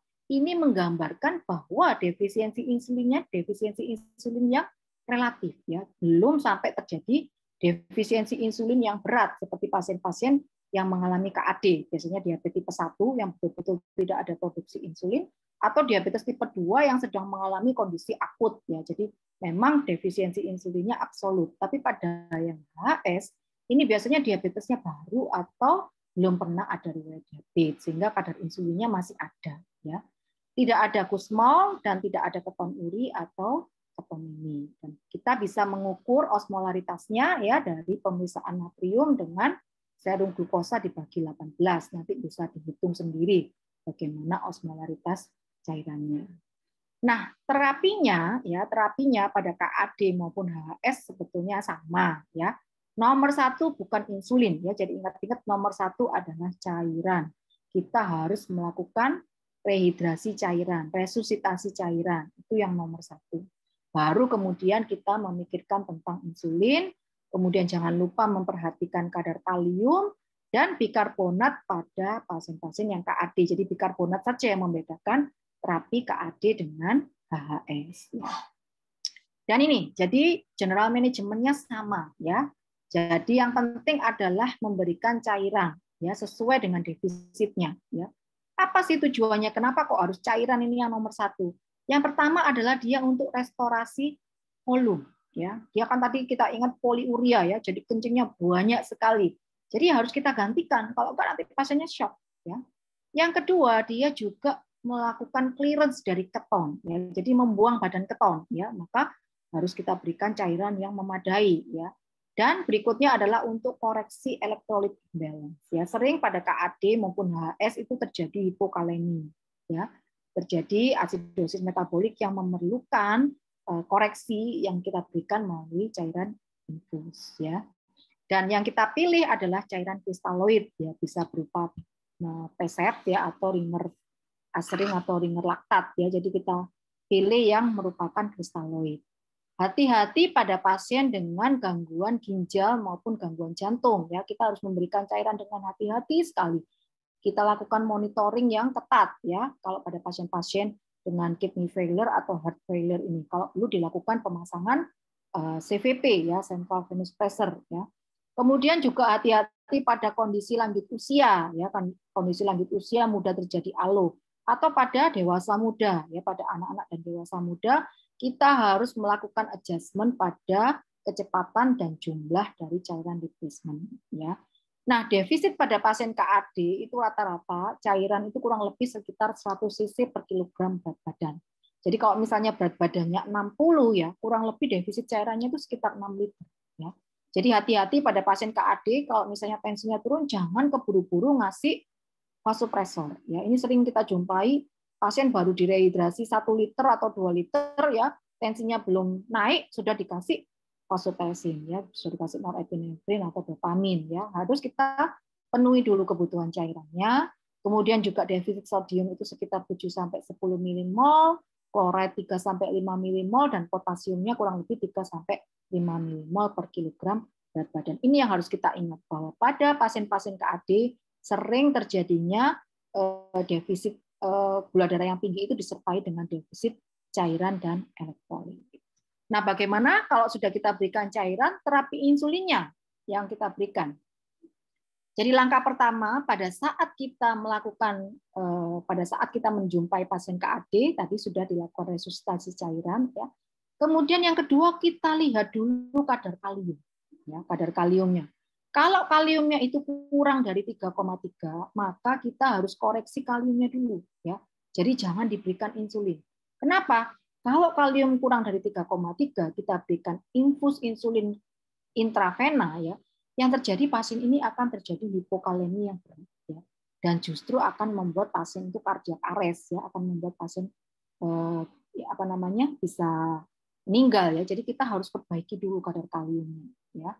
Kemudian kita berikan infus insulin secara intravena, ya, secara kontinu, ya. Kenapa kok diberikan secara kontinu? Karena tujuannya tidak hanya menurunkan gula darah, tapi juga untuk clearance keton tadi, ya, untuk mencegah ketosis, ya, pembentukan keton tadi. Jadi kita tetap memberikan insulin secara intravena dengan dosisnya 5 sampai 7 unit per jam, ya. Kurang lebih akan menurunkan gula darah sebesar 50 sampai 70 mg per desiliter. Nah, kalau gula darah itu kurang dari 60 turunnya tiap jam, ya, maka kita harus memperhatikan ada enggak rehidrasi yang kurang atau ada kondisi asidosis yang memburuk enggak, ya. Dan kalau gula darah itu sudah kurang dari 250, ya, maka apa yang kita lakukan dengan infus insulinnya jangan keburu di stop ya ini yang sering terjadi kalau di ICU atau di HCU ya kalau gula darahnya sudah baik ya buru-buru di stop infus uh, infus kontinunya atau pumpnya itu buru-buru di stop. Nah, itu tidak boleh buru-buru di stop ya. Jadi harus diturunkan dulu 50% ya. Infus insulin dipertahankan sampai keposisnya terdeteksi. Nanti kita bisa memberikan infus dextrose ya untuk mencegah terjadinya hipoglikemi pada pasien tersebut ya. Ini kalau di Surabaya kita eh, memakai juga rumus Prof Askandar ya. Jadi Prof Askandar ini memberi eh, beberapa formula ya untuk mempermudah seandainya kita menjumpai pasien-pasien dengan eh, KAD ya, itu kita bisa lakukan rehidrasi ya. Paling gampang ini kita ingat-ingat kadang-kadang kan kita bingung ya berapa liter yang harus masuk ya kita mesti menghitung ya. Kita bisa memakai formula ini. Jadi menggunakan 2 liter dalam 2 jam kemudian 4 80 tetes per menit selama 4 jam, 30 tetes per menit selama 18 jam, sisanya 20 tetes kita berikan dalam 24 jam berikutnya. Dengan catatan ini kita berikan pada pasien-pasien yang tidak mengalami gangguan ginjal, gangguan jantung ya, bukan lanjut usia maupun pasien yang anak-anak. Ya, jadi kalau pada pasien yang eh, biasa saja tidak ada komplikasi jantung dan ginjal, bisa kita pakai eh, formula ini ya Kemudian untuk insulin kita bisa memberikan infus secara pump ya dengan 4 unit intravena per jam atau kalau misalnya tidak tersedia pump ya misalnya pada saat kondisi beberapa saat yang lalu di mana pada pasien-pasien eh, di ruangan isolasi khusus ya ternyata tidak ada pump saat itu karena keterbatasan eh, tempat eh karena keterbatasan ICU ya kita bisa memberikan secara bolus sambil menunggu ya sambil menunggu ketersediaan pump atau kita bisa juga memasukkan ke dalam infus ya. Tapi dengan syarat kalau memasukkan ke dalam infus kita harus sering-sering rajin mengocok ya. Mengocok kemudian kita harus sering-sering mengecek tetesannya. Nah, itu yang harus kita perhatikan. Kemudian infus kalium kita bisa memakai ini secara eh, gampang kalau misalnya kita bingung berapa ya kalium yang kita berikan, kita bisa memberikan 25 mg kalau kaliumnya 3 sampai 3,5, 50 mg atau dua vial ya kalau 2,5 sampai 3 75 Mg bila 2 sampai 2,5 dan 100 Mg pada kalium kurang dari 2 ya. Bikarbonat biasanya kita bisa berikan pada pH yang rendah, misalnya di bawah 7 atau kok di sini Prof memakai 7,2 ya. Kalau ada faktor pencetus infeksi, ya maka kita berikan antibiotik ya. Kalau atau COVID ya kita berikan antivirus sesuai dengan dosis yang disarankan. Dan kalau sudah mencapai fase kedua, jadi fase kedua itu gula darah di bawah 250, maka kita bisa memberikan dosis yang maintenance. Ya, itu yang bisa kita pakai kalau misalnya kita eh, lupa ya. Nah, apa yang kita lakukan monitor pada saat kita mengobati pasien KAD ya? Yang pertama gula darah itu harus kita monitor tiap jam ya. Kemudian serum elektrolit dan bikarbonat ini tiap dua jam ya. Kemudian urin output, kemudian tekanan darah dan status mental. Ini teorinya yang ideal ya.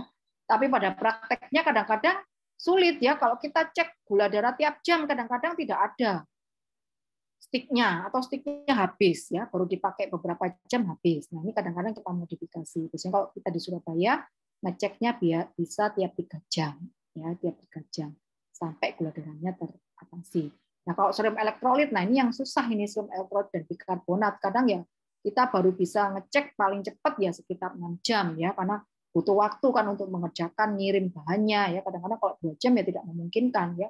Memang kalau di ICU-nya di barat itu eh, kita bisa ngecek dalam waktu lima menit ya, set itu sudah jadi ya. Tapi kalau di tempat kita ya kadang-kadang sulit ya. Apalagi kalau di tempat yang fasilitas tidak ada pemeriksaan blood gas atau pemeriksaan elektrolit ya kita lihatnya secara klinis kadang-kadang ya. Nah, kapan kita menghentikan pam insulin tadi ya? Pam insulin jangan buru-buru di stop ya. Kita menghentikan pam insulin itu kalau sudah terjadi resolusi ya. Kapan disebut resolusi? Kalau pH-nya lebih dari 7,3, bikarbonatnya lebih dari 15 dan ketonnya sudah negatif ya atau Eh, atau positif ringan ya cuma 0,6 ya. Demikian dari saya ya itu yang bisa saya sampaikan untuk terapi emergensi di bidang diabetes kurang lebihnya mohon maaf. Saya akhiri wassalamualaikum warahmatullahi wabarakatuh. Saya kembalikan kepada Bu Didi. Waalaikumsalam warahmatullahi wabarakatuh. Terima kasih Dokter Mina yang sudah menyampaikan materi uh, kedua pembicara kita sudah selesai. Kita mungkin akan masuk kepada uh, sesi pertanyaan dulu. Uh, kita akan uh, memberikan sepertinya ke Dr. Azaki terlebih dahulu ada pertanyaan. Sebentar.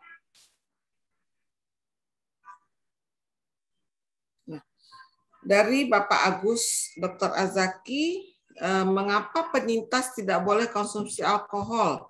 Apakah penyintas boleh menjadi donor untuk pasien COVID? Syaratnya apa? Dr. Ya. Azaki? Ya, hmm. terima kasih.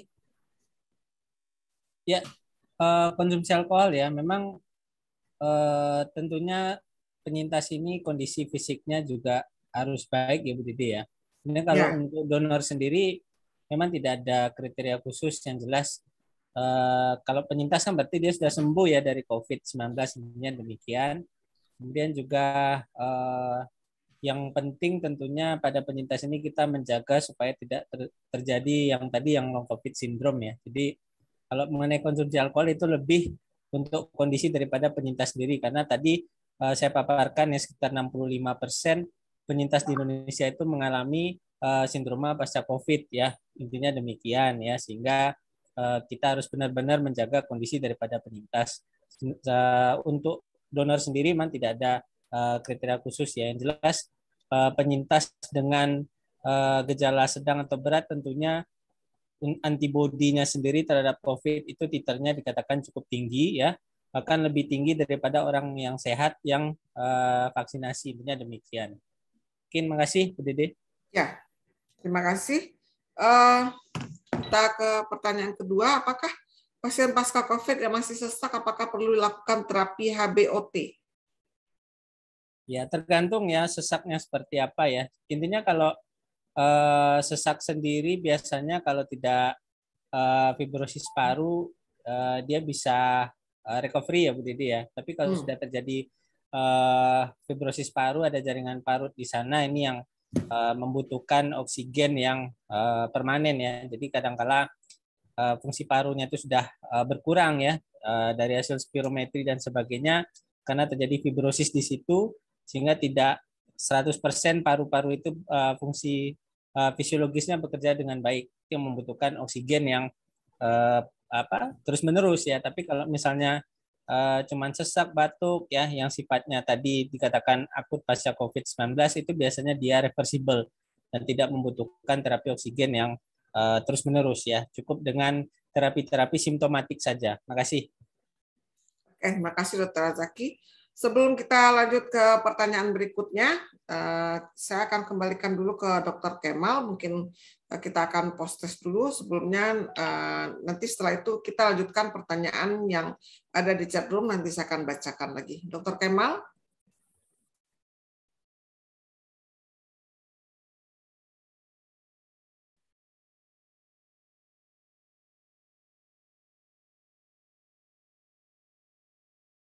Dr. Kemal, postesnya sudah bisa ditayangkan? Ya. Maaf, um, sebentar ya, saya tayangkan postesnya. Ya. Sudah tampak?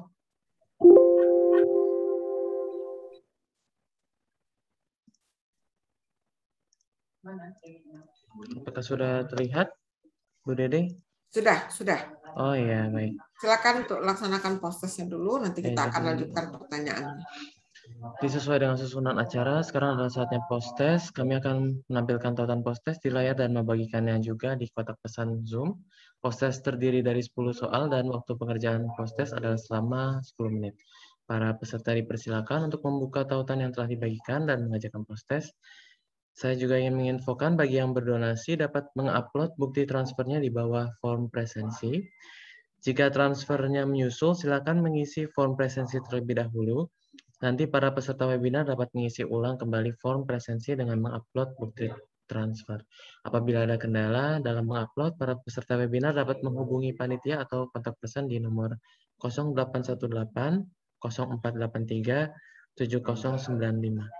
Sekali lagi saya ulangi, untuk kontak person donasi dapat dihubungi di nomor 0818 0483 7095. Baik, selamat mengerjakan pustes. baik,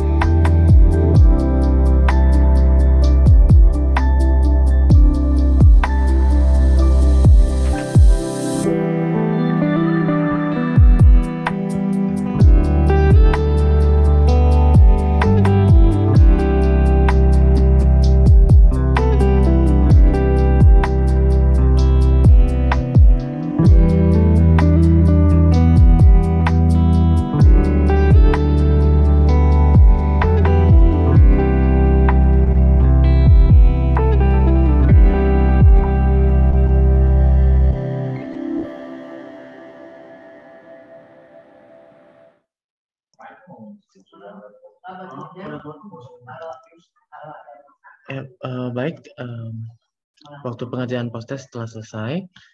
Um, sekarang saya kembalikan kembali kepada Ibu Dede Safero. Oke, terima kasih Dokter Kemal. Saya akan membacakan pertanyaan yang berikutnya lagi yang muncul di chat room kita. Uh, untuk Dokter Azaki juga sepertinya tentang uh, COVID lagi. Uh, berapa lama long COVID itu biasanya waktunya? Uh, mohon dijelaskan.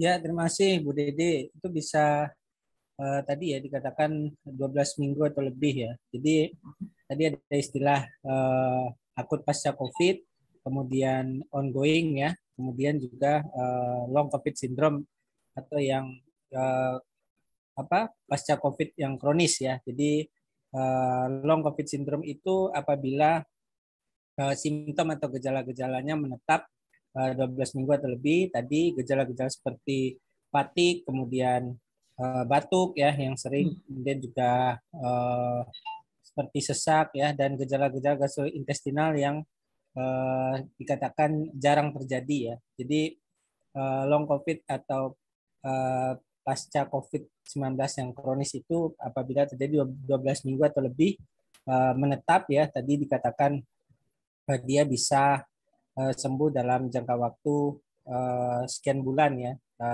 tapi ada beberapa kondisi yang dikatakan bisa menetap permanen seperti fibrosis paru.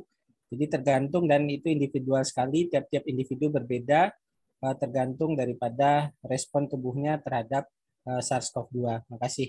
Ya, jadi kita tidak bisa memperkirakan seberapa lama akan terjadi long COVID. Ya, uh, kemudian, sekali. Hmm. ya, apakah uh, pasien dengan gejala long COVID itu diperbolehkan untuk mendapat vaksinasi COVID-19 atau menunggu sampai gejala menghilang?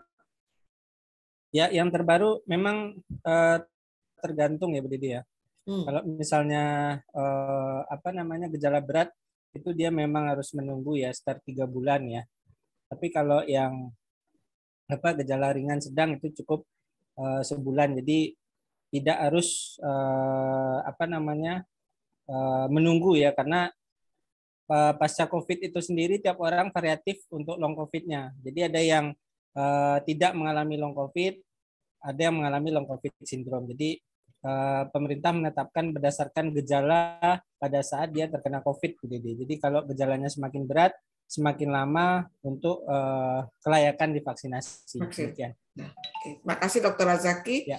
Uh, pertanyaan kepada Ibu Dokter Hermina dari Agus Winarso. Uh, pertama adalah indikator hipoglikemi berat seperti apa. Kemudian kondisi pasien DM bagaimana yang boleh diberi vaksin COVID. Bagaimana bila selain menderita juga tensinya tinggi. Nah itu bagaimana Bu Erwina? Ya tadi uh, sudah kita jelaskan ya hipoglikemi yang berat itu adalah hipoglikemi yang menyebabkan uh, pasien ini membutuhkan pertolongan dari luar.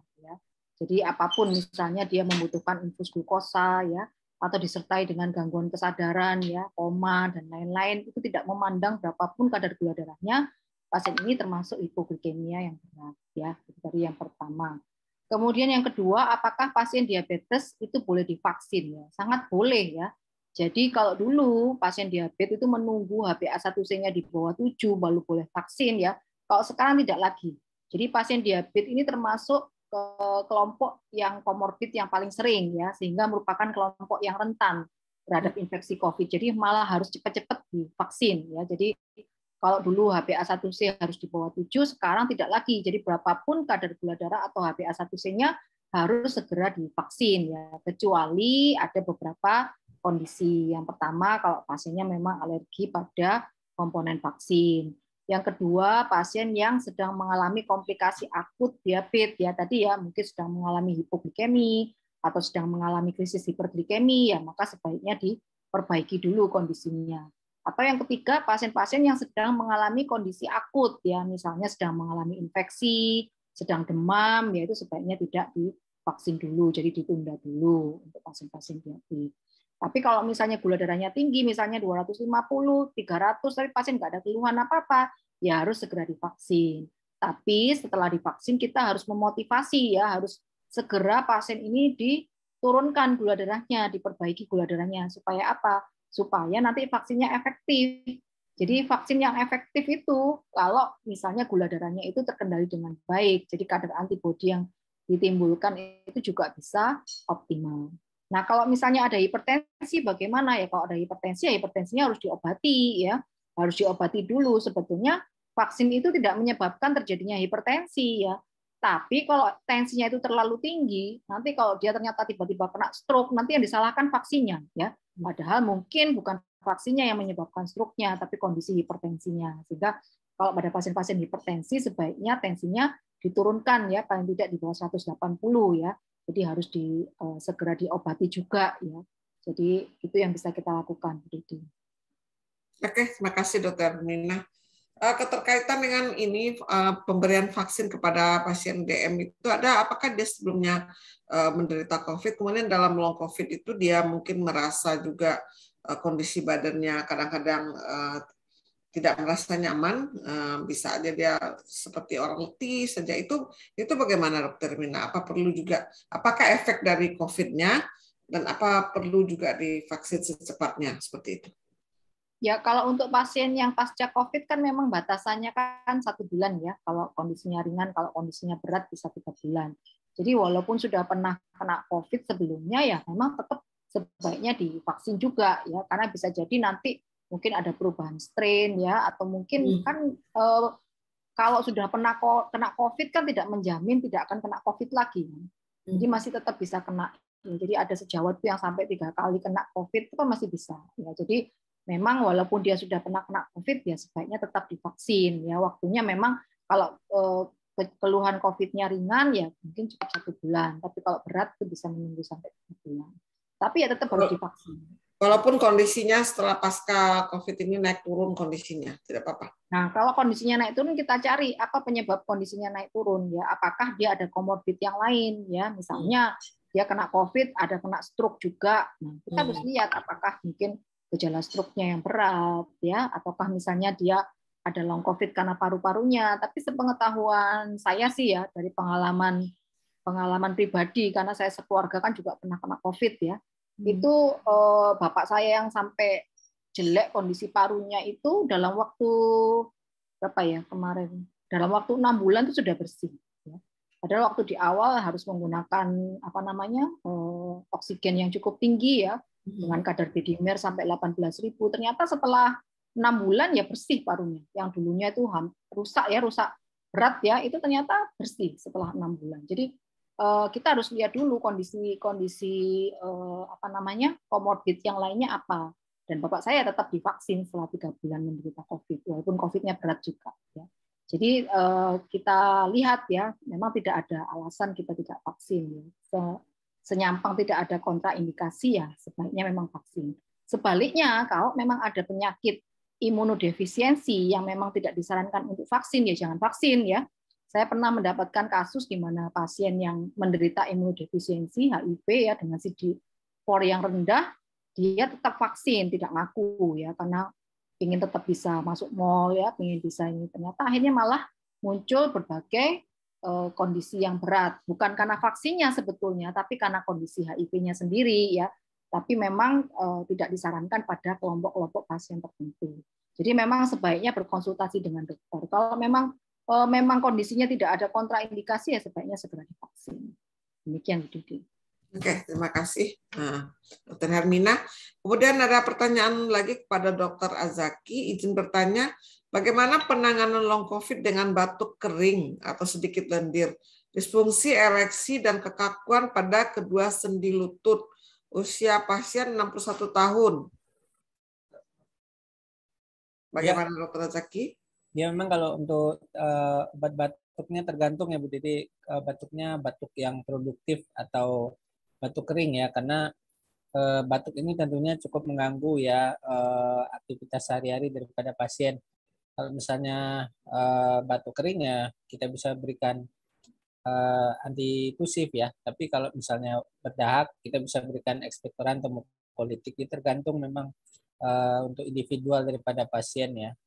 Uh, saya kira demikian. Kalau untuk eh, gejala-gejala uh, lain ya kita bisa uh, sesuaikan ya misalnya ada gangguan neurologi di situ ya kontrol ke dokter saraf kemudian juga uh, jangan lupa kita untuk melakukan rehabilitasi ya pasca covid ya. Biasanya kita libatkan uh, sejawat KFR ya uh, spesialis kedokteran fisik dan rehabilitasi untuk rehabilitasi pernafasan dan sebagainya untuk misalnya posisi yang uh, front position atau telungkup dan sebagainya memang latihan-latihan nafas kemudian uh, mobilisasi bertahap ini sangat-sangat uh, penting ya. Karena uh, untuk pemulihan pasca covid ini sendiri gejalanya sangat variatif ya tidak cuma batuk uh, kadang juga mengenai sistem-sistem organ yang lain ya pencernaan kemudian uh, otot dan sebagainya uh, dan memang pemulihannya sendiri individual ya Bu Dede sehingga memang terapinya sendiri sangat tergantung daripada kejadian-kejadian atau gejala-gejala yang terjadi pasca COVID. Terima kasih. Terima kasih. Terima kasih Dokter Azaki.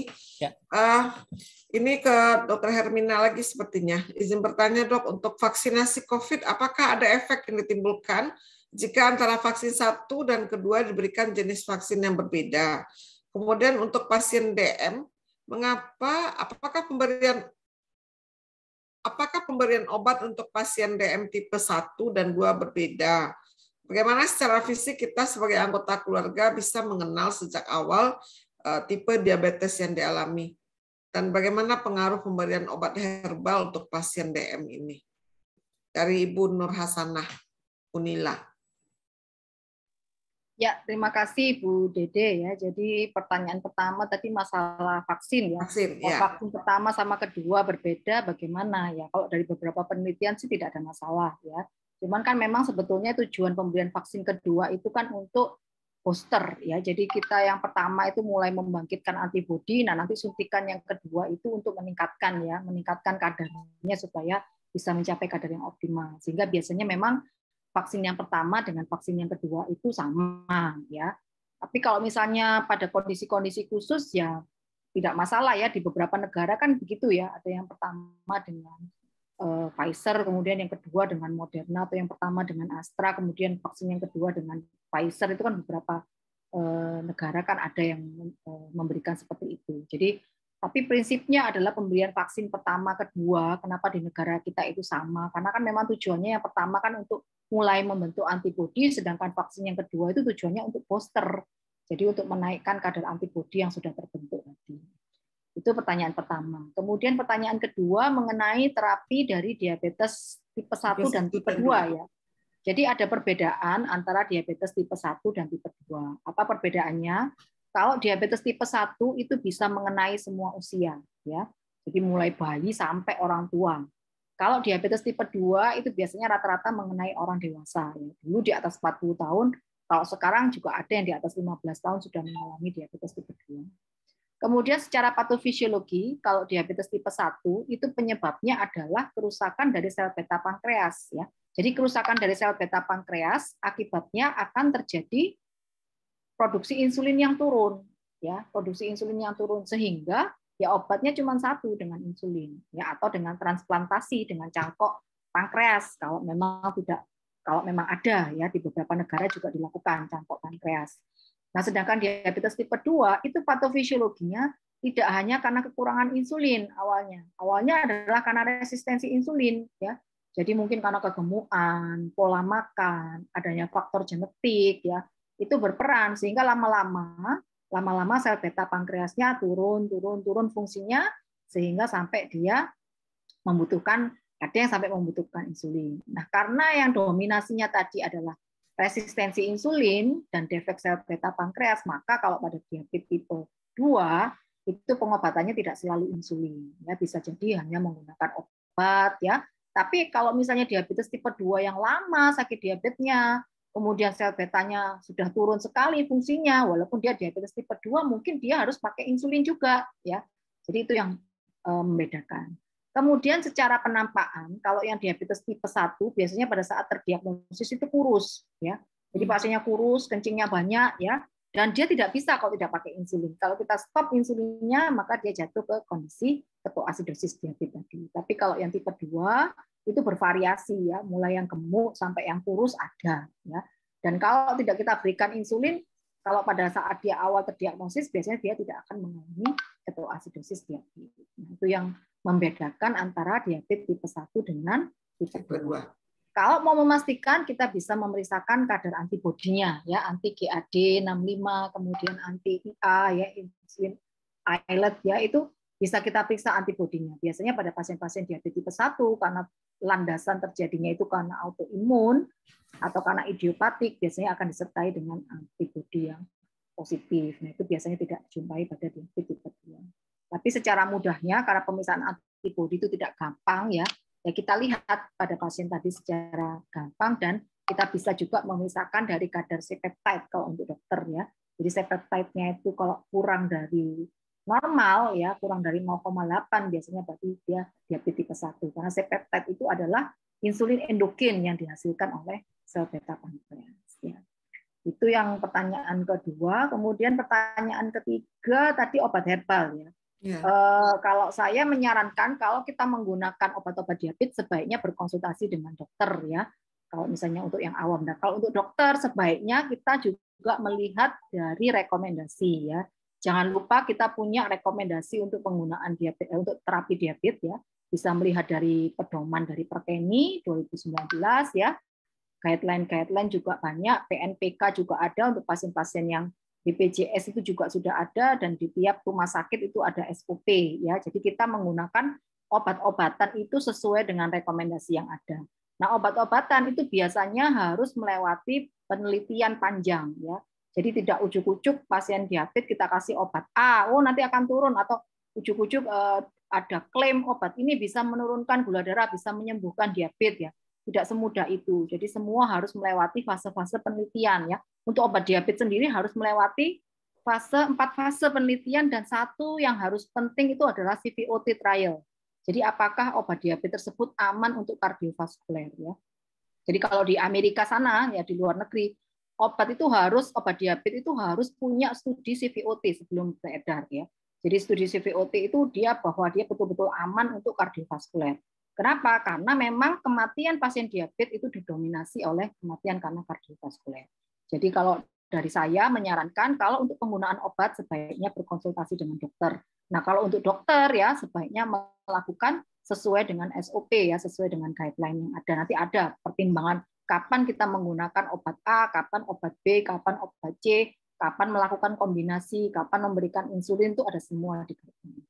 Saya rasa itu Bu Didi. Oke, terima kasih Dr. Ermina. Mungkin mungkin menambahkan ya, Bu Didi. Kalau untuk ya tadi sudah disinggung Dr. Ermina juga kalau yang suntik pertama kedua yang beda itu memang penelitiannya baru untuk Astra dan Pfizer ya dokter Emina. Jadi kalau di luar ya itu juga karena laporan uh, KIPI daripada Astra ya uh, seperti uh, trombosis dan sebagainya sehingga suntik keduanya dilakukan uh, penelitian dengan Pfizer. Tapi itu dilaporkan KIPI-nya cukup berat. Jadi memang dianjurkan untuk suntik pertama dan kedua itu vaksinnya sama gitu Bu Dede ya. Itu yang uh, menjadi poin. Kemudian juga dengan suntik yang sama diharapkan uh, tubuh itu muncul sel memori karena uh, suntik yang kedua itu kan semacam booster yang pertama itu semacam pengenalan ya untuk tubuh ya. terhadap uh, virus SARS-CoV-2. Makasih.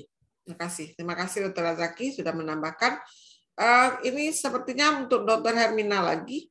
Bagaimana tata laksana krisis hiperglikemia pada pasien dengan hipokalemia berat apakah tunda drip insulin sambil koreksi hipokalemia atau tetap jalan keduanya dokter? Terima kasih. Ya, terima kasih Bu Dede. Kalau hipokalemia berat ya, apalagi kaliumnya sampai di bawah dua, ya kan eh, kategori hipokalemia berat kan kaliumnya di bawah dua, maka harus dilakukan koreksi hipokalemianya dulu. Ya, kalium harus teratasi dulu, baru kita koreksi gula darahnya, insulinnya. Ya, jadi Eh, kita koreksi kaliumnya secepatnya kalau bisa dilakukan pemasangan vena sentral supaya kita bisa memasukkan eh, kalium itu dengan efektif ya 10 sampai 40 mg per jam ya dengan monitor ya di ICU atau ICU kemudian baru kita lakukan koreksi untuk gula darahnya karena memang syaratnya itu adalah kalium di atas tiga kalau dari perkeni kadang di atas tiga ya itu baru diperbolehkan kita memberikan insulin secara intravena secara pam untuk mengoreksi ketoasidosis ini. Demikian Bu Didi. Oke, terima kasih Dokter Hermina. Kemudian ada yang bertanya lagi masih untuk Dokter Hermina, eh, pasien dengan KAD apakah bisa menggunakan insulin secara SC? Berapa dosisnya? Terima kasih. Dari Pak Henry Putra Aditama. Ya, terima kasih Bu Dede. Jadi memang idealnya kalau kita mau memberikan insulin pada pasien diabetes, pasien-pasien diabetes itu kita bedakan dulu. Satu, apakah pasien ini dalam kondisi emergensi atau tidak ya. Kalau tidak dalam kondisi emergensi, kita bisa memberikan insulin, bisa memberikan OAD ya. Tapi kalau dalam kondisi emergensi kita bagi lagi. Apakah emergensinya itu di bidang diabetes ya, misalnya ketoasidosis atau HHS ataukah emergensinya bukan di bidang diabetes.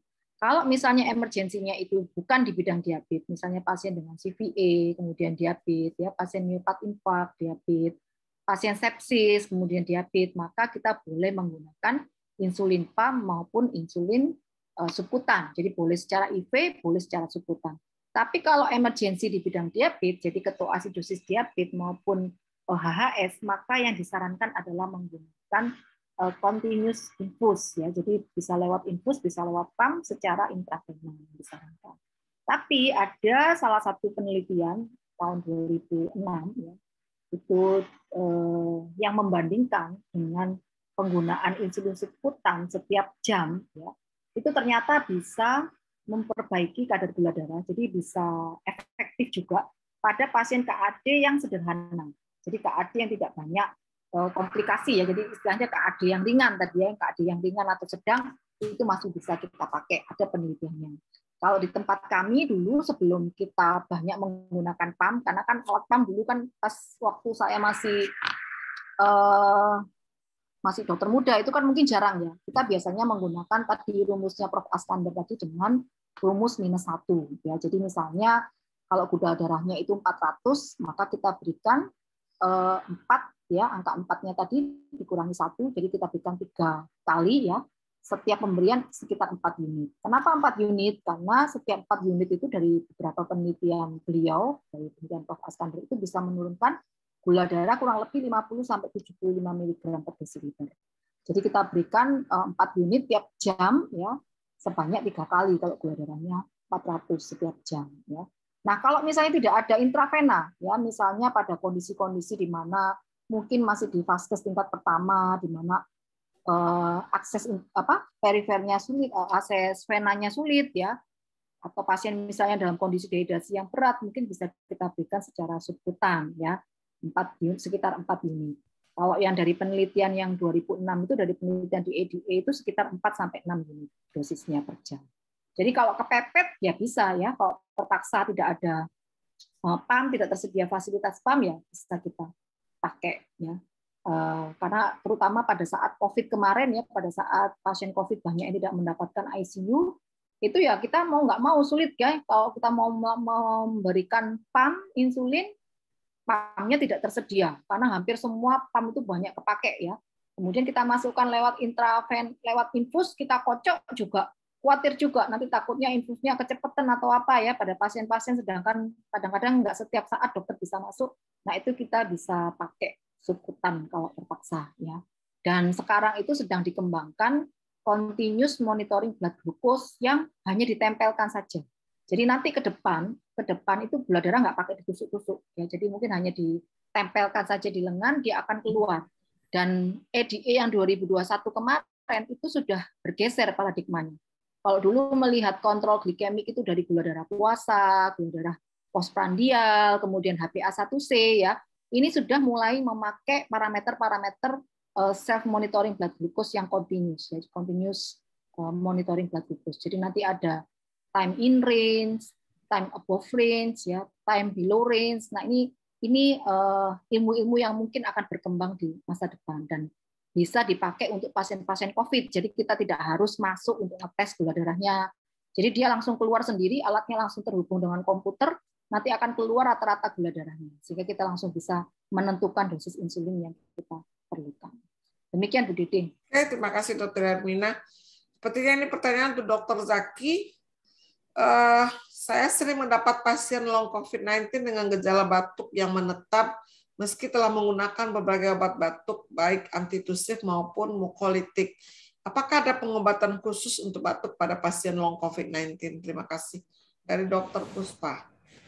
Ya, terima kasih. Jadi untuk pengobatan batuk sendiri memang tergantung jenis batuknya, Bu Didi. Tadi sempat saya singgung kalau misalnya dia batuk kering kita berikan antitusif ya. Kalau batuknya berdahak ya bisa ekspektoran politik ya. Jadi tergantung uh, bagaimana uh, jenis batuknya. Kemudian ini juga sangat individual ya karena uh, tidak semua obat batuk itu cocok pada satu pasien ya. Jadi kadang ada efek mengantuk, kemudian juga misalnya kita berikan ekspektoran malah batuk terus ya. Ini yang uh, tentunya kita perhatikan juga kadang perlu pemberian antibiotik kalau misalnya sudah ada tanda-tanda infeksi, kemudian tiradang dan sebagainya.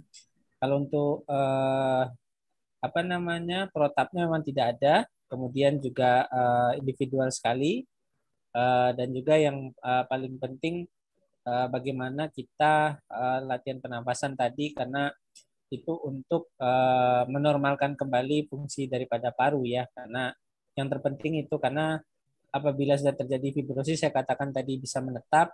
Kalau belum terjadi ya walaupun batuk kemudian ada sesak itu dia bisa reversible atau kembali normal. Terima kasih. Oke, terima kasih Dokter Azaki. Uh, ini sepertinya pertanyaan untuk Dokter Hermina lagi nih. Saya pernah mendapat kasus HS dok laki-laki 28 tahun, eh, GDS besar 600, pH darah besar dari 7,3, URCR normal, elektrolit normal, leukosit 13.000. Saya sudah lakukan rehidrasi sebanyak 3 liter cairan NaCl 0,9 persen. Saya hentikan karena ada mulai ada ronsi, namun GDS masih besar 600. Lalu diberikan insulin Novo Rapid 20 USC dibarengi dengan drip insulin 5 U per jam. Namun GDS besar 600. Kesadaran semakin menurun. Dua jam kemudian WW buruk dipasang ventilator. Namun satu jam kemudian pasien tidak tertolong. Bagaimana eh, sebaiknya ya dok untuk kasus demikian yang GDS-nya tidak kunjung eh, ini tidak kunjung tidak kunjung berespon terhadap insulin. Apakah bisa diberikan SC insulin rapid action? Apabila bisa rentang waktunya berapa, dok? Terima kasih. Ya, jadi untuk kasus HS ya, ini ya kasus HS tadi seperti saya jelaskan sebelumnya merupakan emergensi di bidang diabetes. Jadi idealnya adalah menggunakan continuous insulin ya, jadi menggunakan pump ya. Jadi saya rasa sudah benar penanganannya. Nah, kenapa kok pasien ini sampai meninggal? Nah, ini kita harus cari kan HHS itu tidak muncul begitu saja ya, pasti ada faktor pemicunya. Tadi saya jelaskan faktor pemicunya bisa infeksi ya, kemudian juga bisa infak miokard akut ya, kemudian bisa juga suatu CVA ya, kalau misalnya ada stroke ya, perdarahan misalnya itu juga bisa memicu terjadinya HHS. Kemudian juga kondisi pankreatitis akut. Nah, pankreatitis akut ini juga sering kita jumpai pada pasien-pasien diabetes dan memang mortalitasnya cukup tinggi ya pada pankreatitis akut. Nah, kita harus memastikan dulu. Seringkali penyebab kematian KAD maupun HS itu bukan hanya karena gula darahnya, ya, tapi karena penyakit penyertanya atau penyakit pemicunya itu yang harus kita perhatikan. Saya rasa kalau memang sudah dijalankan semua dengan baik ya, kenapa kok gula darahnya tadi masih tetap tinggi ya? Mungkin sebetulnya gula darahnya 1000 ya atau 1300 ya. Jadi pada saat diberikan insulin tadi ya kan targetnya memang penurunannya kan sekitar 60-an ya, 60 sampai 75 mg per desiliter ya. Jadi kalau memang baru tiga jam ya turunnya kalau misalnya awalnya 1.300 ya mungkin baru turun sekitar seribuan. Ya kalau kita mengeceknya pakai gula darah yang stick yang maksimal hanya 500 ya tidak terdeteksi ya. Jadi kalau misalnya ada fasilitas pemeriksaan gula darah serum ya pada kondisi yang HHS atau KAD ya sebaiknya kita cek ya. Saya pernah menjumpai itu pasien umur 20 berapa ya 27 atau 28 ya lagi ngantri pemeriksaan di counter itu eh, lagi ngantri tiket ya itu dia pingsan kejang-kejang ternyata dicek gula darahnya high waktu kita ambil pemeriksaan serum ternyata 1300 ya. Jadi kalau seperti itu ya kita jangan berharap nanti tiga jam gula darahnya akan terdeteksi jadi 400 ya jauh kan masih an jadi yang penting kita sudah melakukan secara sesuai protap ya. Mungkin penyebab kematiannya bukan karena HS tapi mungkin ada penyakit penyerta yang lain yang mungkin belum terdeteksi pada saat itu ya. Bisa infak akut mungkin ada stroke mungkin pankreatitis akut itu juga sering kita jumpai jadi gitu. Oke terima kasih dokter Mina. Uh, ada pertanyaan lagi pasien dengan KAD apakah bisa menggunakan insulin secara SC berapa KHK dosisnya? Ya, tadi sudah saya jelaskan rasanya ya, yang sebutan tadi ya ada penelitian sudah eh, ada penelitian sebelumnya tahun 2006 itu eh, menggunakan insulin sekutan 4 sampai 6 unit tiap 1 sampai 2 jam itu ternyata cukup efektif untuk mengendalikan gula darah pada kondisi KAD yang tidak complicated ya, jadi pada kondisi KAD yang ringan atau sedang ya. Dan kalau terpaksa misalnya tidak ada fasilitas atau pasien misalnya mungkin tidak sulit akses eh, apa namanya vaskulernya ya mungkin bisa kita berikan. Kalau yang mudah tadi yang menggunakan rumus Prof. Askander tadi ya, jadi rumus minus satu, empat unit sekutan ya. Kan kalau menggunakan rapid acting kan juga cepat ya, hanya lima menit sudah bekerja. Kita akan menggunakan regular insulin biasanya untuk intravena itu kan supaya efeknya cepat. Tapi kalau kita menggunakan yang rapid kan juga sekarang eh, rapid itu juga sangat cepat ya, satu dua menit sudah bekerja maksimal lima menit sudah bekerja jadi bisa kita berikan sebagai alternatif kalau tidak ada eh, tidak ada infus atau tidak ada pam demikian begitu. Oke. Kemudian dari Dr. Devi Iskandar, eh, Dr. Hermina, apakah ada suplemen supaya pankreas pasien diabetes tidak semakin rusak atau supaya tidak semakin rusak sel betanya, dok? Atau hanya dengan obat diabetes umur hidup saja? Terima kasih. Ya, jadi untuk mengeman-eman sel beta pankreas kita ya, maka ya kita harus menghindari terjadinya resistensi insulin ya. Kalau terjadi resistensi insulin, maka eh, sel beta pankreas kita itu akan dipaksa bekerja keras.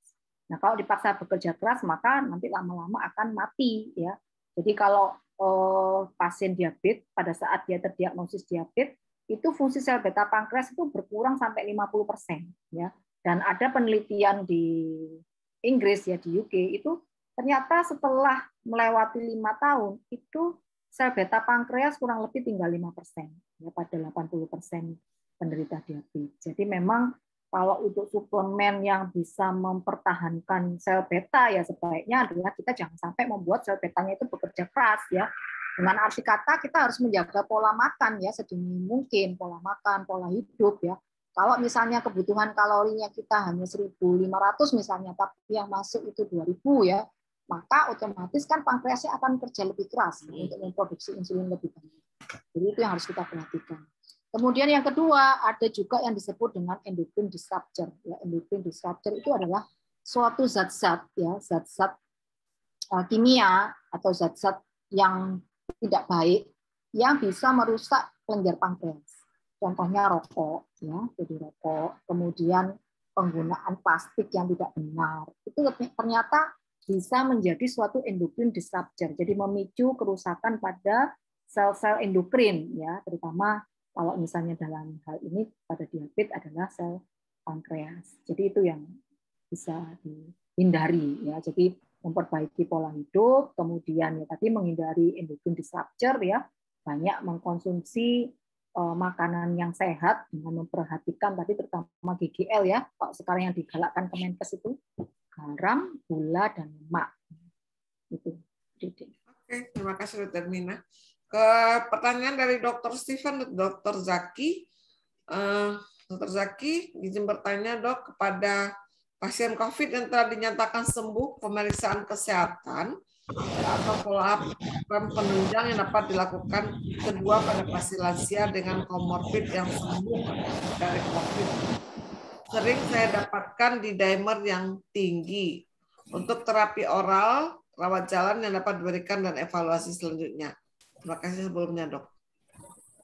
Ya, saya jawab saja ya. Intinya kalau memang uh, COVID itu pemeriksaannya individual ya, Bu Didi. Tergantung uh, penilaian atau asesmen daripada kita misal ya kalau misalnya uh, fungsi paru-parunya terganggu ya kita bisa melakukan pemeriksaan ronsen torak kemudian pemeriksaan lab tadi ya lab lengkap karena uh, kita juga bisa mendeteksi apakah ada sisa-sisa daripada COVID efeknya terhadap organ tubuh kita ya. Kemudian juga bisa dilakukan uji paru dan sebagainya ya.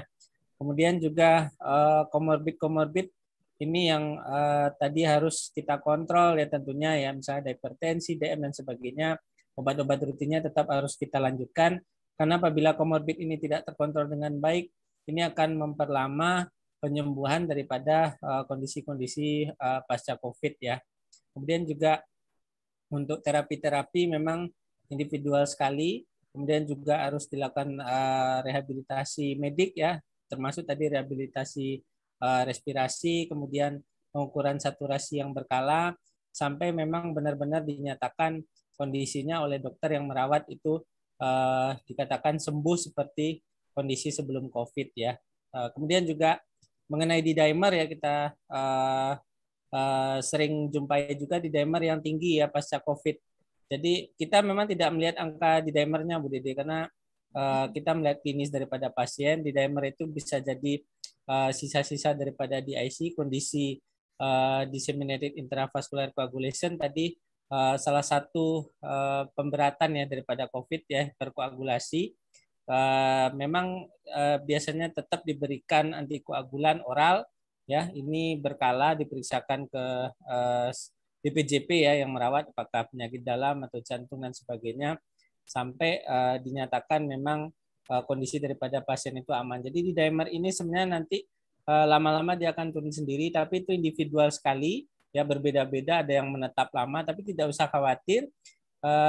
Intinya setelah dinyatakan sembuh atau COVID-nya negatif uh, memang uh, beberapa kondisi di dimer tinggi ini menetap cukup lama tapi lama-lama pengalaman kita dia akan turun sendiri seiring dengan pemulihan kondisi pasien. Terima kasih. Nah, kok bila tidak ada gejala lagi, perlu nggak pasien post-COVID check up paru atau lab di dimer atau darah yang lain lagi dok? Apakah mungkin akan ada gejala menyusul terkait long COVID? Ya tadi tergantung penilaian ya. Jadi eh, penilaian apakah perlu dilakukan ronsen dan sebagainya ya karena eh, kadangkala memang ronsennya itu belum normal tapi secara klinis kondisi pasien sudah membaik Bu Dede. Jadi ronsen itu terlambat mengikuti kondisi eh, klinis daripada pasien. Jadi kadangkala secara klinis dia sudah baik tapi ronsennya belum normal. Tapi memang evaluasi itu tergantung sekali individual sekali. Jadi kita tidak bisa mengatakan ini harus dilakukan ronsen ulang, ini harus dilakukan pemeriksaan lab lengkap. Ini eh, memang tergantung daripada kondisi pasca COVID dari masing-masing pasien. Terima kasih. Oke uh, kepada Ibu Dr. Hermina dari Agus Winarso, kalau cangkok pankreas dari organ manusia lain atau dari binatang pada pasien BM tipe 1 atau 2 di negara maju, ini mungkin apa ini maksudnya? Mungkin apa ya pendapat apa bagaimana ini? Tidak ada uh, penyelesaian pertanyaannya. Ya, Bu Dede, memang cangkok pankreas biasanya dilakukan untuk pasien diabetes tipe 1 ya itu berasal dari manusia yang sudah mengalami mati batang otak. Jadi yang dinyatakan meninggal mati batang otak, kemudian dia mendonorkan organnya, itu bisa dilakukan cangkok eh, pankreas ya. Jadi pankreas whole pankreas, jadi pankreasnya nanti dicangkokkan eh, ke pasien diabetes tipe 1 ya. Itu yang dilakukan. Namun sekarang yang berkembang juga adalah eh, cangkok pankreas menggunakan sel punca atau stem cell ya, stem cell. Jadi pada pasien-pasien dimasukkan diberikan transplantasi eh, sel-sel stem cell ya yang diharapkan sel stem cell tadi itu akan meregenerasi dari sel beta pankreas. Tapi memang saat ini masih dalam fase penelitian. Ya. Termasuk S3 saya kemarin itu saya melakukan cangkok pankreas pada tikus ya dari stem cell Eh, lemak ya. Jadi sel lemaknya tikus itu kita ambil, kita pilih stem selnya, kemudian kita rubah secara in vitro ya, secara laboratorium menjadi sel penghasil insulin ya. Setelah dia bisa menghasilkan insulin secara in vitro, kita masukkan lagi ke dalam tikus ya. Kemudian kita cek ternyata eh, kadar gula darahnya bisa baik ya. Jadi kadar gulanya turun. Nah, ini nanti yang akan menjadi terapi masa depan ya. Jadi terapi stem cell untuk Eh, pada pasien-pasien yang sudah gagal sel beta pankreasnya. Namun saat ini tahapnya masih penelitian karena ada beberapa kendala yang terjadi. Yang pertama adalah ternyata pada pasien-pasien yang kita transplant dengan stem cell tadi ya setelah beberapa saat itu juga eh, terjadi apoptosis juga pada sel sel transplantnya tadi ya ada beberapa yang mengalami apoptosis karena memang dia sel donor ya pada pada sel donor itu kita harus memilih juga eh, HLA dan segala macam. Jadi masih masih dalam tahap penelitian untuk stem cell. Oke. Kemudian yang bertanya, apakah ada obat untuk memperbaiki pankreas? Jadi obat ya obat diabetes ya, obat diabetes itu ada yang bekerja pada pankreas, ada yang bekerja pada ginjal, ya ada yang bekerja di usus ya. Jadi kalau golongan DPP-4, GLP-1 agonis itu dikatakan dia mempunyai efek perbaikan ya pada sel beta pankreas. Tapi kalau obat khusus ya untuk memperbaiki sel beta pankreas tidak ada. Ya. Itu tadi yang masih dikembangkan adalah eh, terapi stem cell saat ini. Demikian. Oke. Terima kasih Dokter Hermina. Ini sepertinya ke Dokter Azaki. Uh, ayah saya umur 86 tahun didiagnosa COVID. Uh, lab albumin globulin tidak bagus, tidak diberikan obat COVID, hanya steroid. Alasannya ginjalnya tidak bagus. Di rumah minum obat macam-macam tidak apa-apa. Dua hari kemudian Bapak meninggal, obat COVID apa yang bisa diberikan untuk pasien dengan gangguan ginjal? Ya, terima kasih Bu Dede. Memang eh, kita lihat ya tadi kondisinya bagaimana terlebih dahulu karena terapi COVID ini sangat variatif ya. Demikian individual ya untuk eh, gejala sedang sampai berat kita memang sering memberikan antikoagulan ya. Apakah itu sebagai profilaksis ataupun memang sudah terjadi kondisi-kondisi di IC karena sering kali memang uh, komplikasi yang sering adalah di IC. Jadi ada hiperkoagulasi di situ sehingga harus diberikan semacam pengencer darah. Dan juga uh, tadi kan manifestasinya macam-macam ya Bu Dede. Uh, hmm. Bisa ke jantung, ke paru, termasuk ke ginjal dan gangguan ginjal yang terjadi biasanya karena ini virus adalah cedera atau gagal ginjal akut, gangguan ginjal yang akut. Jadi apabila virusnya itu sudah tereliminasi, kemudian terapi-terapi kita adekuat tadi yang ke berbagai macam sistem organ biasanya uh, fungsi renalnya akan uh, kembali normal ya. Intinya demikian. Uh, bisa diberikan uh, terapi uh, pengganti ginjal seperti hemodialisa apabila uh, terapi medikamentosa tidak efektif untuk memperbaiki fungsi ginjal. Jadi intinya demikian.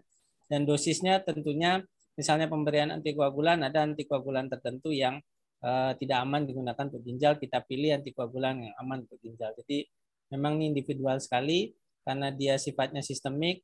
Kalau sedang sampai berat, uh, gejalanya biasanya kita berikan uh, banyak obat yang uh, bisa memperbaiki berbagai sistem organ tubuh. Jadi memang kita tidak bisa menyamaratakan terapi COVID untuk satu individu dengan individu lain. Terima kasih. Kan berbeda ya, tergantung apa penyebabnya juga. Uh, Kemudian ada pertanyaan lagi, apa ada batas nilai di dimer yang perlu dievaluasi atau diobati pada pasien penyintas COVID-19 yang sudah tidak ada gejala?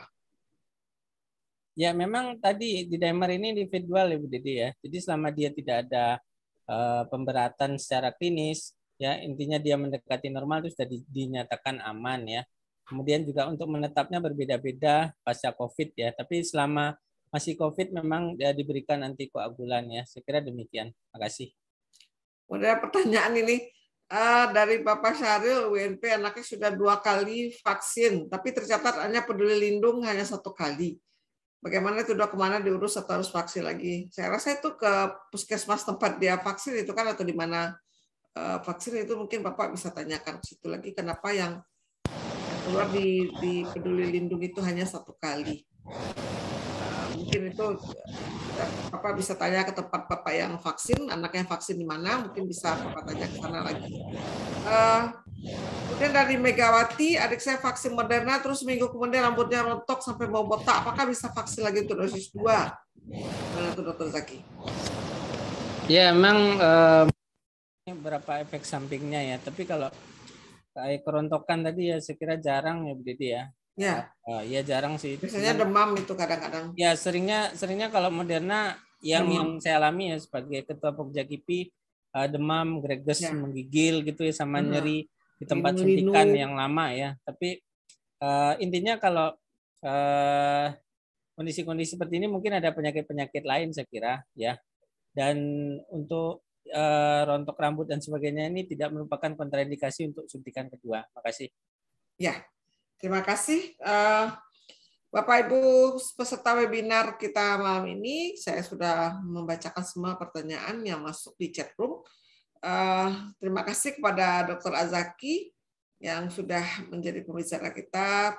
malam ini dan juga kepada Dr. Hermina yang uh, telah penyelebar untuk memaparkan tentang diabetes mellitus. Semoga ini bisa menjadi menambahnya ilmu untuk kita dan juga apa tindakan-tindakan yang akan diberikan kepada uh, pasien COVID atau pasien uh, diabetes mellitus.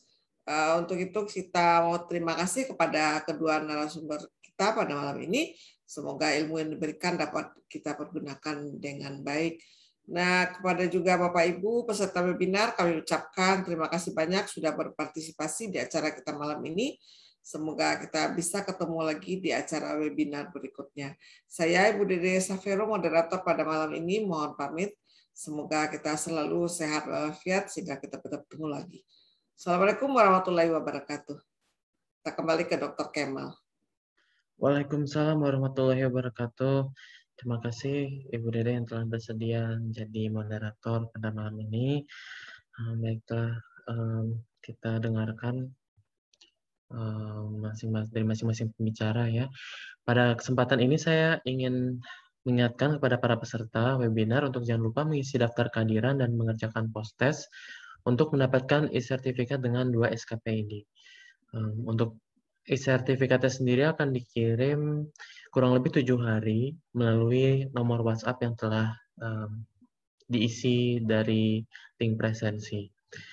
Lalu tautan untuk pengisian daftar kehadiran dan postas telah kami bagikan di kotak pesan di Zoom.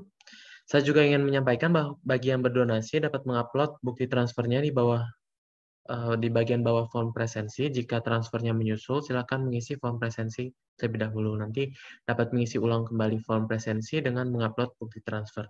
Jika ada kendala mengupload bukti transfer, para peserta dapat menghubungi kontak person di nomor 0818 0483 7095. Sekali lagi saya ulangi, untuk kontak person donasi dapat dihubungi di nomor 0818 0483 7095. Baik, untuk um, link materi juga telah kami share ya di kotak pesan di Zoom. Telah tiba saatnya kita di penghujung acara. Terima kasih. Um, terima kasih banyak kepada para pembicara kita yang luar biasa pada malam ini, Dr. Azaki dan Dr. Hermina. Um, dan tidak lupa terima kasih banyak juga kami ucapkan kepada seluruh peserta webinar yang telah bergabung dalam kegiatan webinar malam ini. Mohon maaf atas segala kekurangan kami. Semoga apa yang kita dapatkan dalam webinar malam ini bermanfaat. Wassalamualaikum warahmatullahi wabarakatuh.